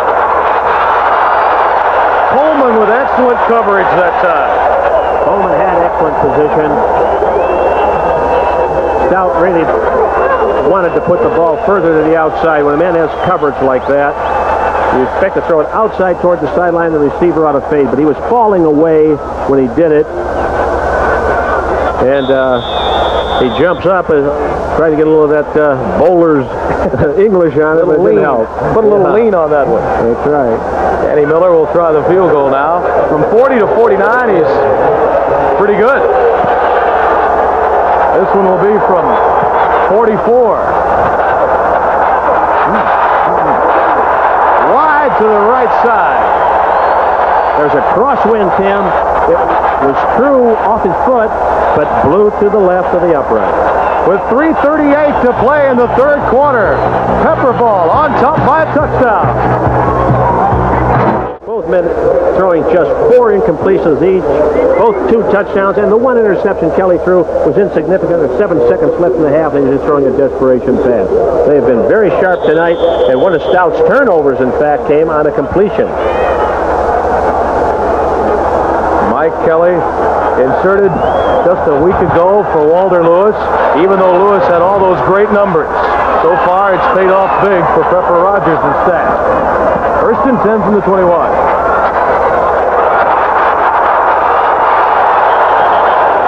That's Porter. Ricky Porter from Slippery Rock, and he is a slippery one. Beyond the 40 to the 41 for the first down, Sutton made the stop. He fakes to Porter, has downfield men he can throw to. They're covered. Everybody's dropped deep. You see Bill Rowe, the linebacker, way deep. They throw it in front of Porter. Nicky Sutton finally does make the stop on him. First and 10 with the ball now at the 41-yard line. Memphis leading by a touchdown. Porter again. Up to the 47. Chuck Clanton made the hit. There's Cribbs along the sideline. He left limping earlier after that last series for Birmingham. Here's Ricky Porter at tailback. Just a basic toss, but it's going to go off tackle. They want you to think it's a sweep. Pull everybody wide. There's Bill Rowe again, 52, making the initial hit on the tackle. Rowe is their leading tackler. Spencer is number two, Herbert Spencer. Second down and five. Memphis from their own 47.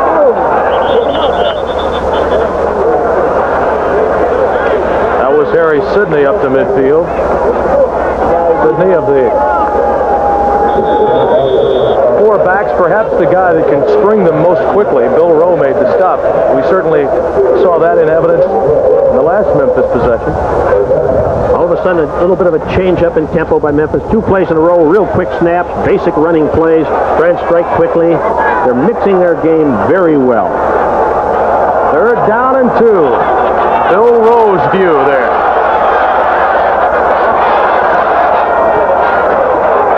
Kelly. Now that one was nearly picked off by Dumars off the tip drill. Had he come up with it, it would have been six for Birmingham.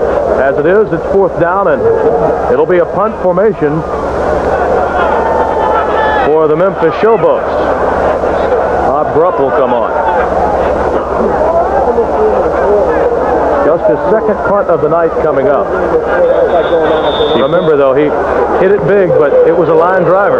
That's right. I was just going to say that the 43 looks impressive, but it was too low a punt and it came back almost as fast as it went out there. And why? Because McFadden is back there, and he leads the league in this department. He called a fair catch there. Tell you, a little more body lean that time, and Memphis would have had Birmingham down on the one-yard line. It did get into the end zone. It touched the line. It's what the official rules, and if it touches the line, the line is in the end zone. We have a timeout. Just over a minute left in the third quarter. Memphis leads Birmingham. 24 to 17. Birmingham's possession at their own 20.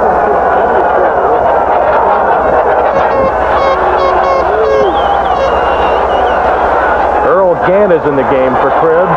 Stoudt looking. Got away from Bussey. Nearly found his man, Joel Cole. Well, I don't know if that was his man at the outset. There's a lot of scrambling around. All went for naught. Stoudt gets around back there, though. Eh? People just do not give him the kind of credit in terms of eluding would-be tacklers in his backfield. They certainly don't, particularly for a man who's nine years in professional football, a six foot four inch quarterback who does not have a low center of gravity, which would help him elude. He gets away very well. Out of Youngstown State, many believe the premier quarterback in this league. There have been a few arguments, of course. Stoudt coming this way to Earl. Bessillieu with a nice stop.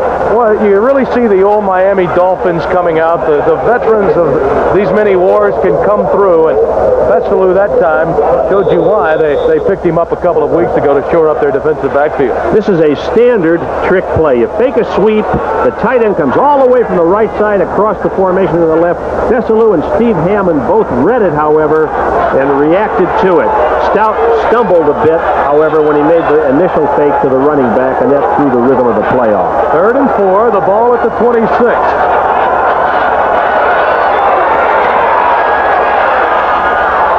Incomplete for Smith. Stoudt threw through three defenders that time.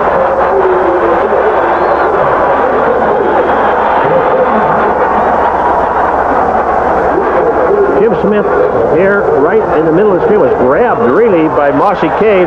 Now coming across the middle, the ball is thrown behind him. Stoudt delivers and gets a little emotional about it. You ought to be a little careful. Guard those legs. You don't want to leave your feet too often. Bob Parsons will punt on fourth and four.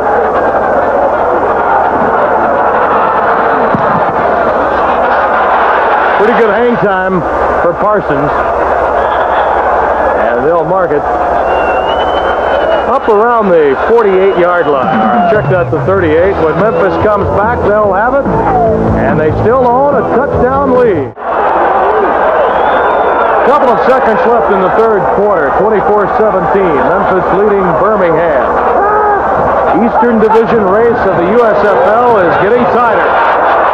That's Derek Crawford. First down to midfield. Made the stop.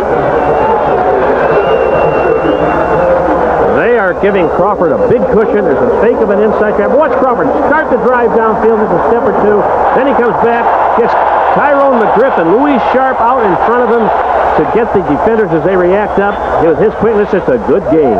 Below the Mason-Dixon line, two Southern rivals doing battle, and the Showboats leading by seven. Understand his right thigh has been iced down, and it doesn't appear as if he'll make it back into the game. That's crucial as we head down towards the last 15 minutes of play. Rao, the tight end, gathers in the Kelly aerial at the 42 of Birmingham. Herbie Spencer in on the stop for the Stallions. Mickey Sutton also there, and it's Sutton that's feeling the pinch of the hit. On many occasions, Tim, Memphis is sending their two wide receivers deep, their tight end down the middle, and the backs cross short, and they keep hitting those backs short in front of the linebackers, but the defense is going deep. There's Sutton gets a hard stick there on Rao, but apparently shakes himself up. Sutton, Rao too, is shaken up on the play. Sutton is only 5'9", 173. He may have pinched a nerve there in his neck or damaged his shoulder. 24-17 the count.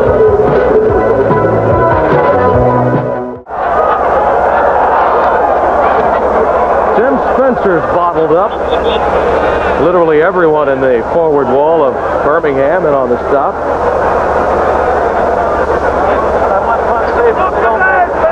I don't think he got the first down. Oh, he's a yard short. Yep, it's going to be third down and a yard. The ball at the 41 of Birmingham. This is a drive that could loom largely for that guy and his staff. Up by a touchdown and in control with good field position to start things in the fourth quarter. Good field position. This uh, type of situation where I would think, these are only guesses, that he's going to run the ball rather than try to play action. Slot right, Moser in the slot. Spencer follows up the gap and it's hard to tell. Clanton, Spencer, Sales, among others. They've gone over that left side, and here they go again in short yardage, and they're really not getting it. They get pretty good takeoff there by Sharpe and uh, McGriff, but there's still not a lot of running room. Herbie Spencer coming around the outside to make the stop, and here's a very crucial call if he didn't make that first down. By the way, the bandage coming off of Joe Cribbs, we understand that right side, so we may we may be seeing him again after all. If they don't make the first down here with a seven-point lead, will they go for it on the 40-yard line? I think it's close enough that they probably will. Pepper Rogers will have to toe the line. About an inch to go. About an inch. He's about a toe away. Well, I think he's going to go for it. They're going to talk about it, though. They're going to talk. for an hour and a half him run a quarterback sneak here.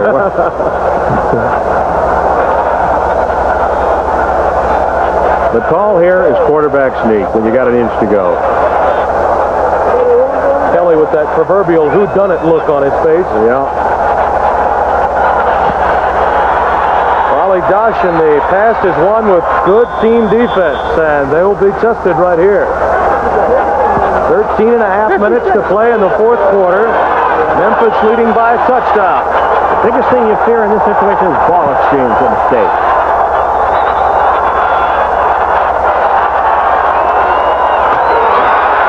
Parker, first down.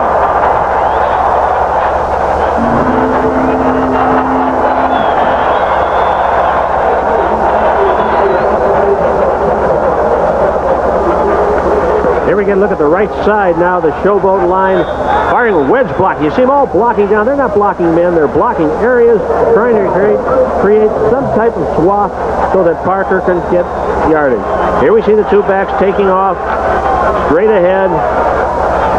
The other running back in the game at the time could not have gotten ahead of Parker with his straight course through the hole. First down and 10, the ball at the 39 of Birmingham. Kelly. Moser to the 11. Blanton made the stop. One of the few times they've gone deep into the middle, deep turn-in pattern. So the man who's been his favorite tonight, Kelly, dropping back. A seven-step drop, which means it's going to be a deep route. Look to the outside. There's an open lane. There's look to the outside. Brought defenders out there. And Moser very sure-handed.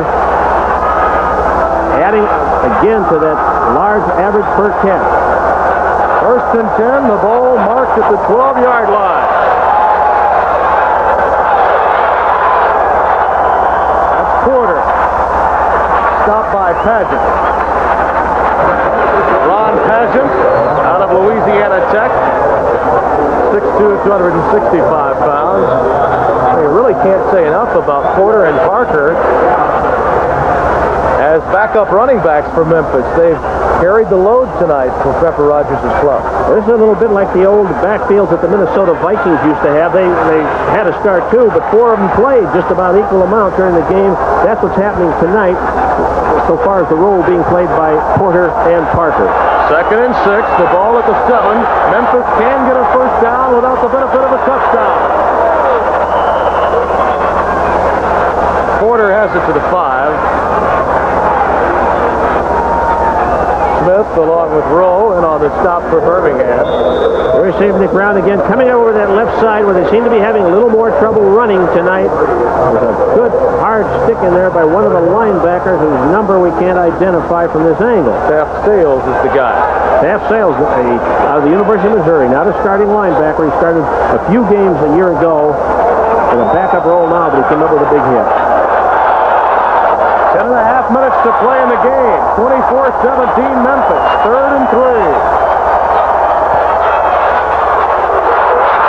Sydney, first down.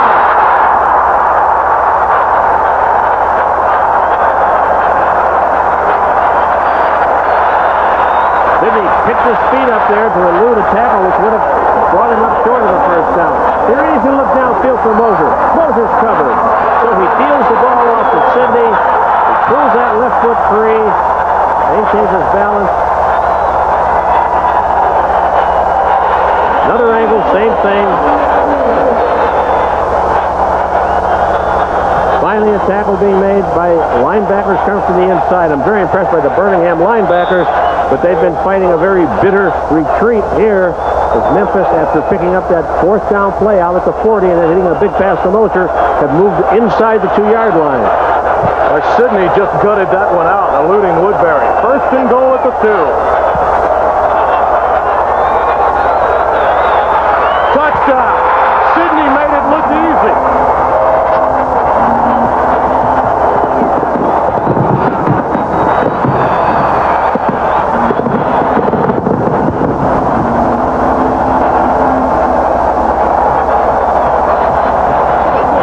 Right behind Luis Sharpe and Russ Bolinger went Harry Sydney. Well, they stayed working on that left side. Again. A nice lead block by Ricky Porter, and they're in easily. David Huffman, number 56, normally a tackle, was playing tight end on the left side there, which they do in short yards and goal line situations. In fact, earlier this year he caught a touchdown from that spot. Duncan to tack on the point.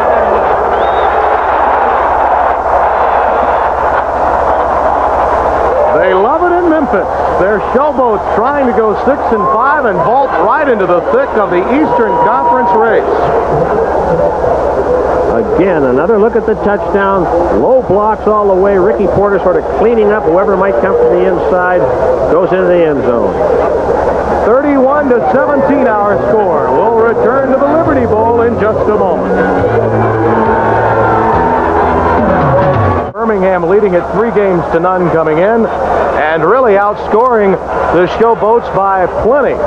Now suddenly things have changed. Harry Sydney and company, two touchdowns in this half, and it's a 31-17 Showboat lead.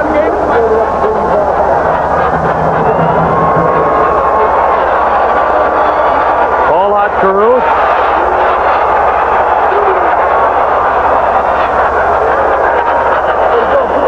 Carruth, sort of a blue-collar worker on special teams and as a running back, stopped by Daryl Goodlow. They'll mark it at the 28 where it will be first and 10, and Joe Cribbs is back. Sore thigh and all. When you're down by a couple of touchdowns, you have to play. You have to play, and he's a tough young man. Birmingham now, there's no Birmingham game plan. They certainly have a chance. Here's Cribbs. They certainly have a chance to still pull it out, but they've got to deviate from the style that's had them win seven games so far this year. Down low. Fumble. Picked up by Reggie White. Touchdown, Memphis. Flags are down. Oh, it's just debris. It was the beanbag uh, there, Tim, with a throw at the spot of a turnover ball possession change. Here we see Stoudt dropping back. A lot of rush coming in here from the backside. Kelvin Clark was had a heck of a game. Knocks him free from the ball. Reggie picks it up with a whole group of blockers.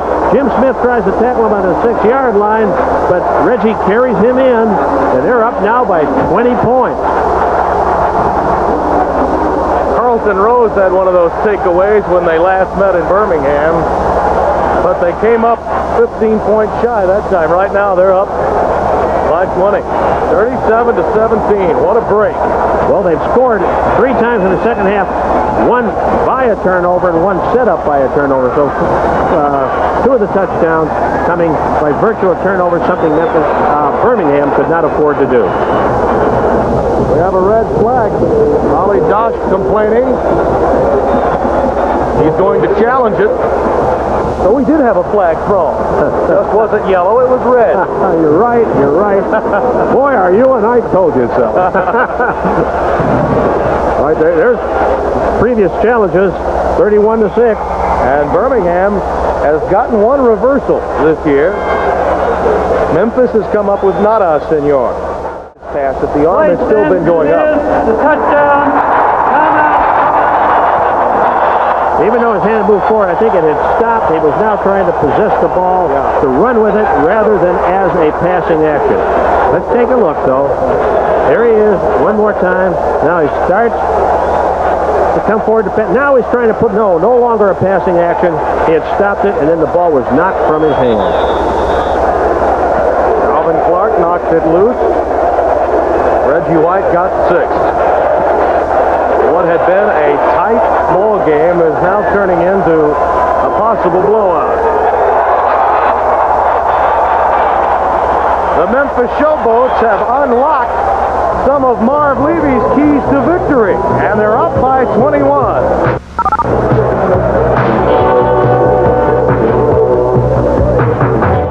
Memphis has really dominated this game since the beginning of the second half, Marv. They have. They certainly have. Their defense has been awfully big, of course, hitting hard. They've been playing very aggressively. McFadden and Carruth are awaiting the Duncan kickoff.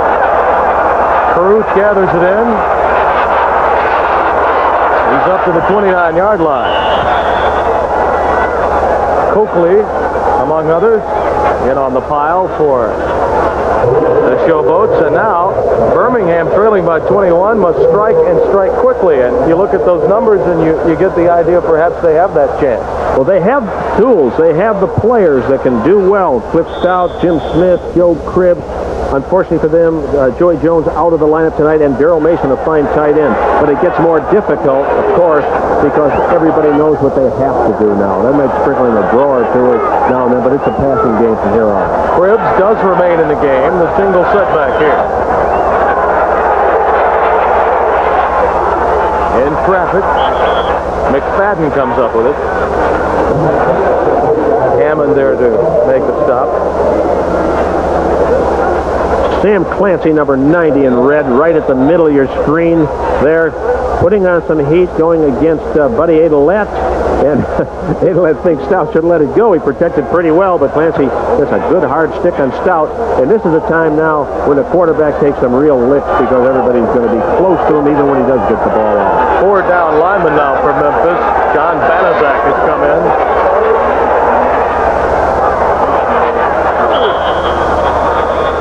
That's Joel Cole, stopped by Corker off the reception up to about the 38. As you mentioned, Tim, they have four linemen to get more pressure. Now, Reggie White is playing over the guard now, number 92 in red, rushing against Pat Phoenix, 71. He's close. As the ball is released, he's legal, but uh, this is bruise time for the quarterback. There are those that would debate the maneuver putting Reggie White at nose tackle as opposed to defensive end with his pass rushing ability. Stoudt going for and way overthrown. McFadden, the intended receiver. McFadden well covered by John Bessillieu and another secondary defender. First and 10 in this situation is the time to go that deep. And they are guessing that Memphis will do some blitzing on that first and 10. And it's not a bad calculated guess, even though in that instance it didn't pan out. Pepper Rogers says his brand of football is an attitude. Pepper ball is nothing more than an attitude, positive thinking. He's got this ball club playing positively tonight. Cribbs has come out of the game now. Seth Baxter split. Earl Gant has checked in for Cribbs. Stoudt eludes pressure and finds McFadden for the first down at the Memphis 45. Leonard Coleman there to make the stop. They're going now with a lot of wide receivers, Birmingham. Secondary was up close like they were going to blitz. Then they drop off, covering zone. Thad McFadden, rookie. He's such a fine pass receiver now in the game, makes that catch.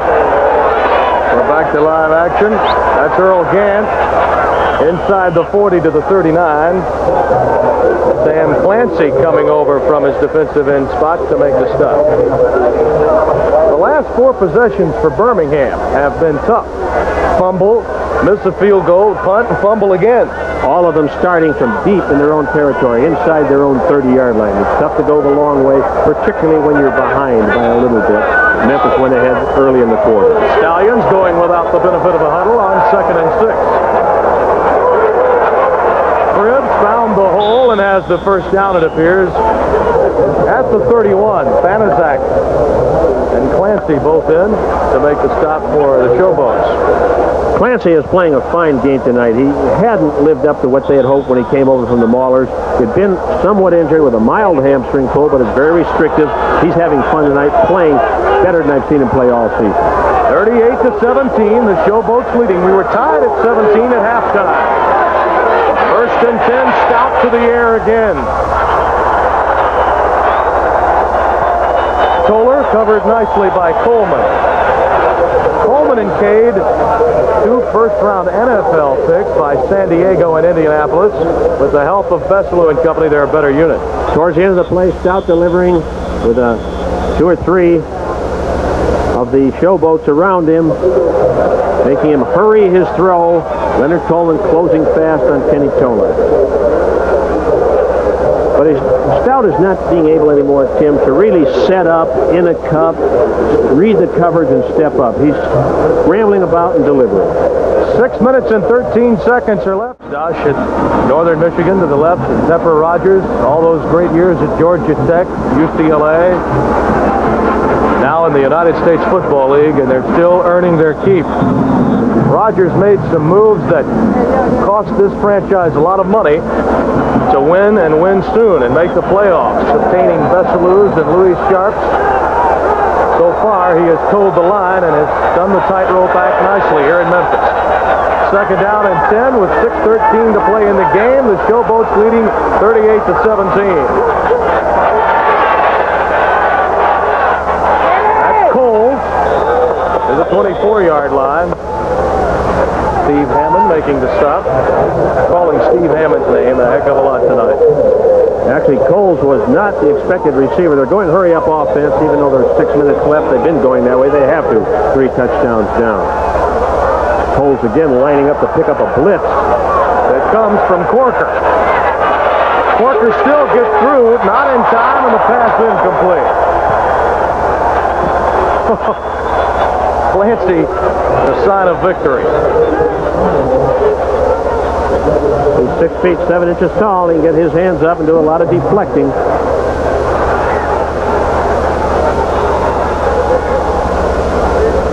Here's Stoudt again, having to throw off balance with some heat coming.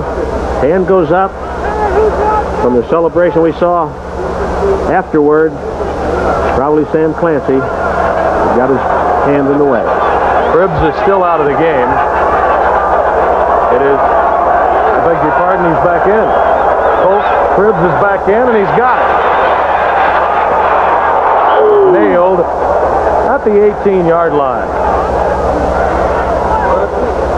Bussey along with Brett Williams on the stop. Williams in for Reggie White for the moment. This is a good drive. They are not playing prevent defense. People might think that because they're moving down the field this way, but it's a good drive under a lot of pressure. Smith and McFadden are the wide receivers. McFadden at the top of your screen on first and 10. And he goes to Toler. Touchdown.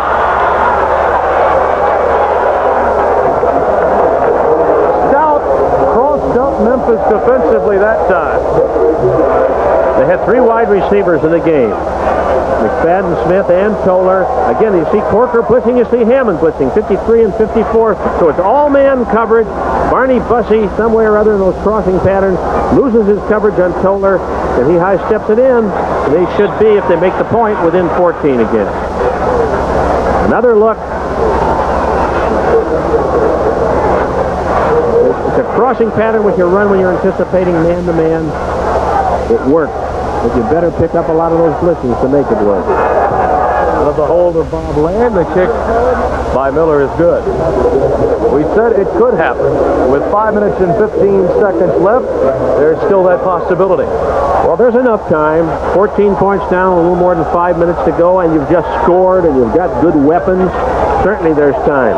Now, this is where a running game is real important, too.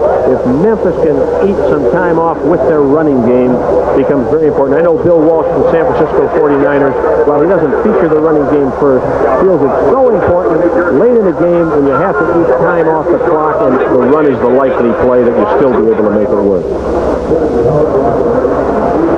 Rollie Dotsch has to feel a little bit better right now about his team's chances with 5.15 to play. One of the better drives of the night. 11 plays, 72 yards, 4 minutes and 20 seconds off the clock. Perhaps more time than you'd like if you're a Stallions fan, but they got the job done. Toler out of Ole Miss in for Joey Jones tonight, coming up with the touchdown, 18 yards from Stoudt. They are playing now onside kick defense. Nine men, ten men within 10 yards of the restraining line. Henry Williams is back deep, but everyone else is up front. They have one man deep, and the, the tough part about this is now they're re- maybe they were going to onside kick. Now they're going to re-huddle and talk it over.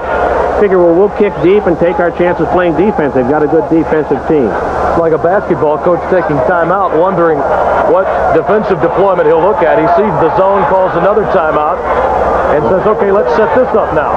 Well, I'm sure there's a similarity to what you just said. Um, Well, it was an in-betweener, right? Williams gets it at the 22 and fumbles it. He did come up with it, though. Mark it at the 23-yard line. It's an in-betweener, but I don't understand why. Is it an onside kick, onside kick? If you want to pin him deeper, kick it deeper. I, that one I don't understand at all, unless they felt that they could maybe recover that as a style of onside kick. They have come up with one fumble recovery on a kickoff tonight. Williams coughed one up and led to a touchdown. Number 23 on the kicking team line, first down. Well, you got the same bad result that you sometimes get when going for an onside kick. The other team got the ball. Here's your offside. Second man in from the bottom of your screen. Offside, across the line when the ball is kicked. Mike Kelly, 19 of 26, 195 yards, couple of touchdowns, one interception. He and Stoudt have been outstanding tonight here at the Liberty Bowl. 38 to 24. Memphis leading with 4 minutes and 50 seconds left. Porter gets it. Ken Kelly made the stop.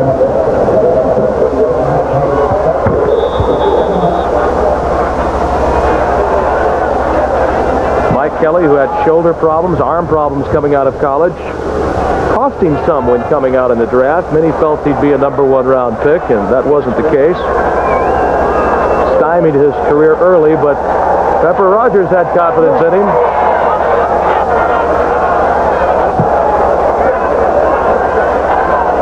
There were those that were quite critical when Walter Lewis was replaced. But even Lewis is happy with what he's seen so far, and we have too much time here. You know, Lewis with the numbers he's had, and you look at Kelly now, but you'd think Lewis would be a little upset with, with what's transpired. He's posted some great numbers for that guy, and yet is on the bench tonight. Well, he's not the type of person to be upset. His team is winning. I made the comment last week, despite the fact he's thrown 15 touchdowns, just four interceptions. Pepper gave his reasons that he felt the team needed a change of tempo. He's got a lot of career ahead of him, Walter Lewis. He certainly hasn't reflected any dissatisfaction. He aided the team on the opening play, set up the first scoring drive of the game. Second and 14. That's Porter again. Coming out of the backfield to pick up a healthy chunk of yardage. Stopped at the 29-yard line. Bill Rowe made the stop in his sixth year out of Colorado. Rowe continuing to make a lot of tackles for this club. But here's a very crucial play. If they can pick up the first down, they can probably take it down at least to the two-minute warning before having to punt it away, sitting on a two-touchdown lead. Birmingham has two timeouts remaining. Memphis with their full complement of three here in the second half.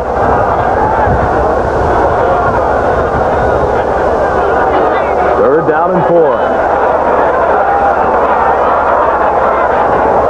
That's Sydney. First down, Showboat. What Kelly has done is something very difficult to get quarterbacks to do. Rodier short man. Harry Sydney, 24, looks for a blitz. None's coming. He hooks up in a little crease between the two linebackers, Taft Sales and Bill Rowe. Catches it. It's not going to look big, four or five yard completion, but it's very big. Maybe big enough to say that the game has been put away unless something very unlikely were to happen. Mike Kelly. Big, big night for him.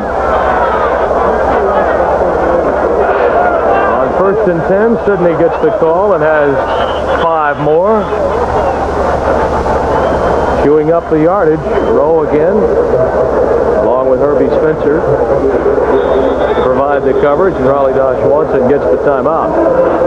Rollie wasn't going to let full 30 seconds run off the clock down to the two-minute warning, but they only have one left. Second down, five yards to go. Ball at the 40. 38 to 24. Memphis leading.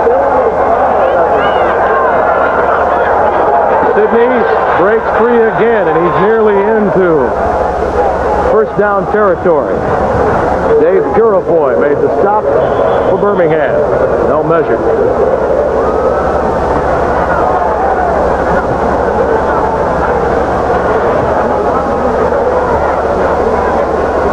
Ken Smith firing out there on Bill Rowe, getting into him, then looking behind, but he gets good movement on him. Very close. if not a first down, very close to it. Ken Smith out of Miami of Ohio in his third year. They are just a stone's throw away. They've been that close three times tonight. Look at that one. Ten times last time they played each other. Tonight, no sacks. Why? Better players up there, the addition of Luis Sharpe and Bolinger, but a game plan which allowed them to throw short, and Mike Kelly, a quarterback who can read and throw short against the blitz. Now, look at Walter Lewis. He's in that game. And uh, there, there, there's no animosity or hurt feelings there. He's part of this football team, and he shows it. There's nothing phony about it.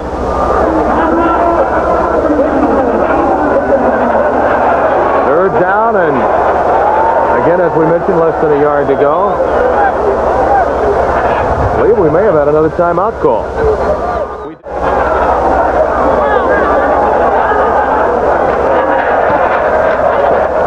Parker. Rowe made the stop. It appears he has the first down. Anthony Parker out of Memphis State gets the first down for the Showboats. Again, over the left side in the short yardage goal line. 38-24 Memphis. Two minutes left. The Birmingham Stallions out of all their timeouts. Just a question of time now. This will be a sweet win for Memphis. Their first ever against Birmingham. They call this locally, as in all the newspapers, Revenge Bowl 2. Both coaches agreed that winning this game was especially important because the two clubs really don't have a great liking for one another. So Well- Dotsch has great respect for Rogers and Pepper of him. Well, they do. Uh, They stood together and talked before the game. It must have been 20 minutes while their teams were warming up.